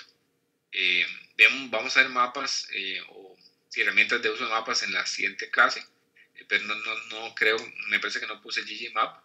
lo podría agregar como un ejemplo en el caso que, te interese y lo subo ahí en el, en el, ¿cómo se llama? En el, en el foro para que tengan algún ejemplo, lo podríamos agregar, pero no, en, la clase de hoy, de lo que íbamos a ver de ggplot, pues básicamente con esto acabaríamos.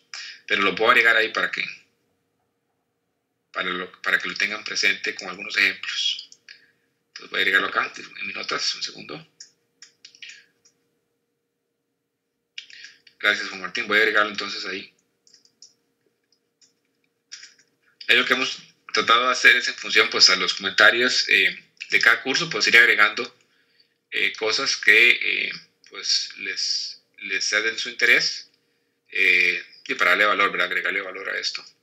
Todo lo que podemos hacer es agregar Ggmap. En el curso, pues en la clase pues no lo tengo.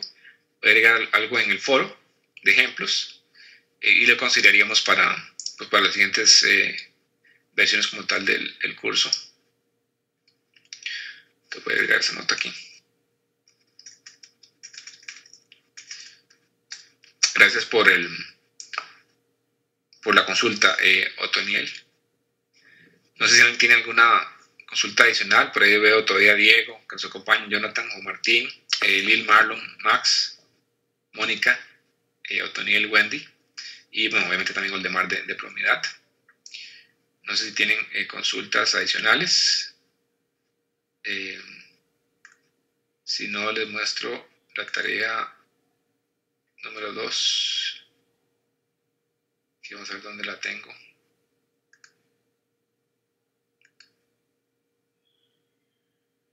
Gracias, gracias Diego. Sí, por favor, es bastante contenido siempre. Eh, y lo que tratamos es, pues, de, por menos de mostrarles parte, ¿no? Parte, en este caso, de estos paquetes. Eh, obviamente no se puede dar, no da tiempo de darlo todo, eh, pero ahí lo revisan y si tienen también dudas y las abarcamos, ¿no? Tanto en el foro. Déjame abrir la tarea aquí. Un segundito que se me cerró la sesión. Y la idea también es que pues que vean, obviamente como les digo, no, pues no da tiempo de ver todos los parámetros y demás. pero les da una idea de qué hay.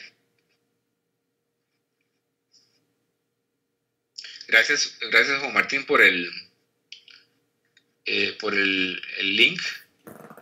Aquí eh, Juan Martín nos está dando, nos está compartiendo un link donde pueden ver información de, de R.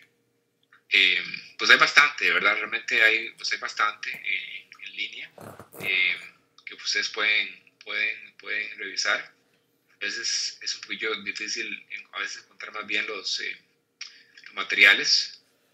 Em, y parte de lo que estamos haciendo pues es, es, es enfocándonos ¿no? y darles una guía para que les sea más fácil.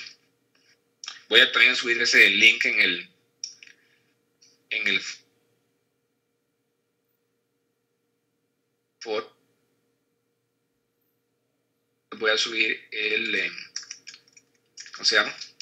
Eh, el detalle de ggplot con otros con otro tipo de gráficos para que los tengan ahí documentados.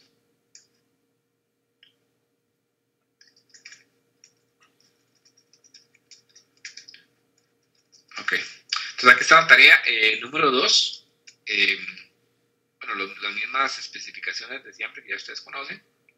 y en esta, básicamente nos vamos a enfocar en el último ejemplo que les mencioné, eh, de indicadores de los países. Son 214 países. Em, y los mismos indicadores que ya, que ya vimos. Y eh, toda la tarea está en función de eh, ggplot. ¿Okay? Entonces la idea es que pues hagan ciertos tipos de gráficos, tanto de puntos o histogramas, box plots, únicamente en función a esos em, ¿cómo se llama? En función a, esos, eh, a ese set de datos. Eh, en, cada uno de los, en cada una de las consultas, eh, tratar de especificar la variable puntual tal y como se llaman en el data frame, para que, bueno, en el archivo de datos, para que no se confundan. Usualmente cuando hablo de región me refiero a esta variable que dice rec. Eh, y si hablo de, a menos que hable específicamente o, explícitamente de esta que es otra, es área geográfica, eh, pues ahí lo especificaría. Eh, pero básicamente todo es de ggplot. la mayoría de elementos son cosas que hoy. De lo contrario, lo, lo especifico puntualmente ahí que, para que hagan, utilicen ciertos parámetros y los exploren. Y creo que todo está, está cubierto.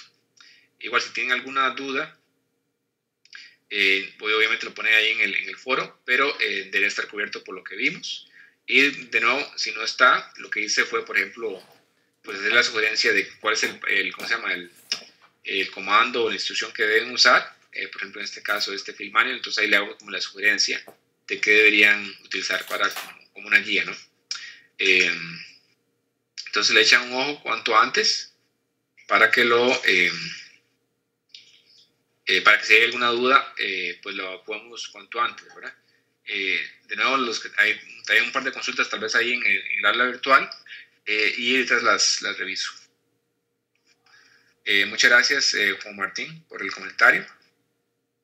Hay siempre hay contenido que podemos agregar, pero de una limitante de tiempo, evidentemente, ¿verdad? Entonces no, no, no, podemos verlo todo. Y también queremos ver algunos otros paquetes que también son muy útiles, no, no únicamente ggplot y la otra semana lo estaríamos viendo para que los tengan a mano, ¿no? Eh, bueno, eso sería eh, de mi parte. Eh, a todos los, a todos los que nos acompañen. no sé si tienen alguna otra consulta o comentario. de lo contrario, pues eso sería todo por el, día de hoy. nos estaríamos viendo la próxima semana. No olviden poner sus inquietudes cuanto antes de las tareas en el, en el foro para evacuarlas. Eh, de nuevo, gracias Diego, eh, gracias a vos y buenas noches. Eh, que la pasen muy bien donde ustedes estén, ya sea, tenemos gente de varios países, no recuerdo todos en este momento. que la pasen muy bien, entonces nos veríamos la próxima semana.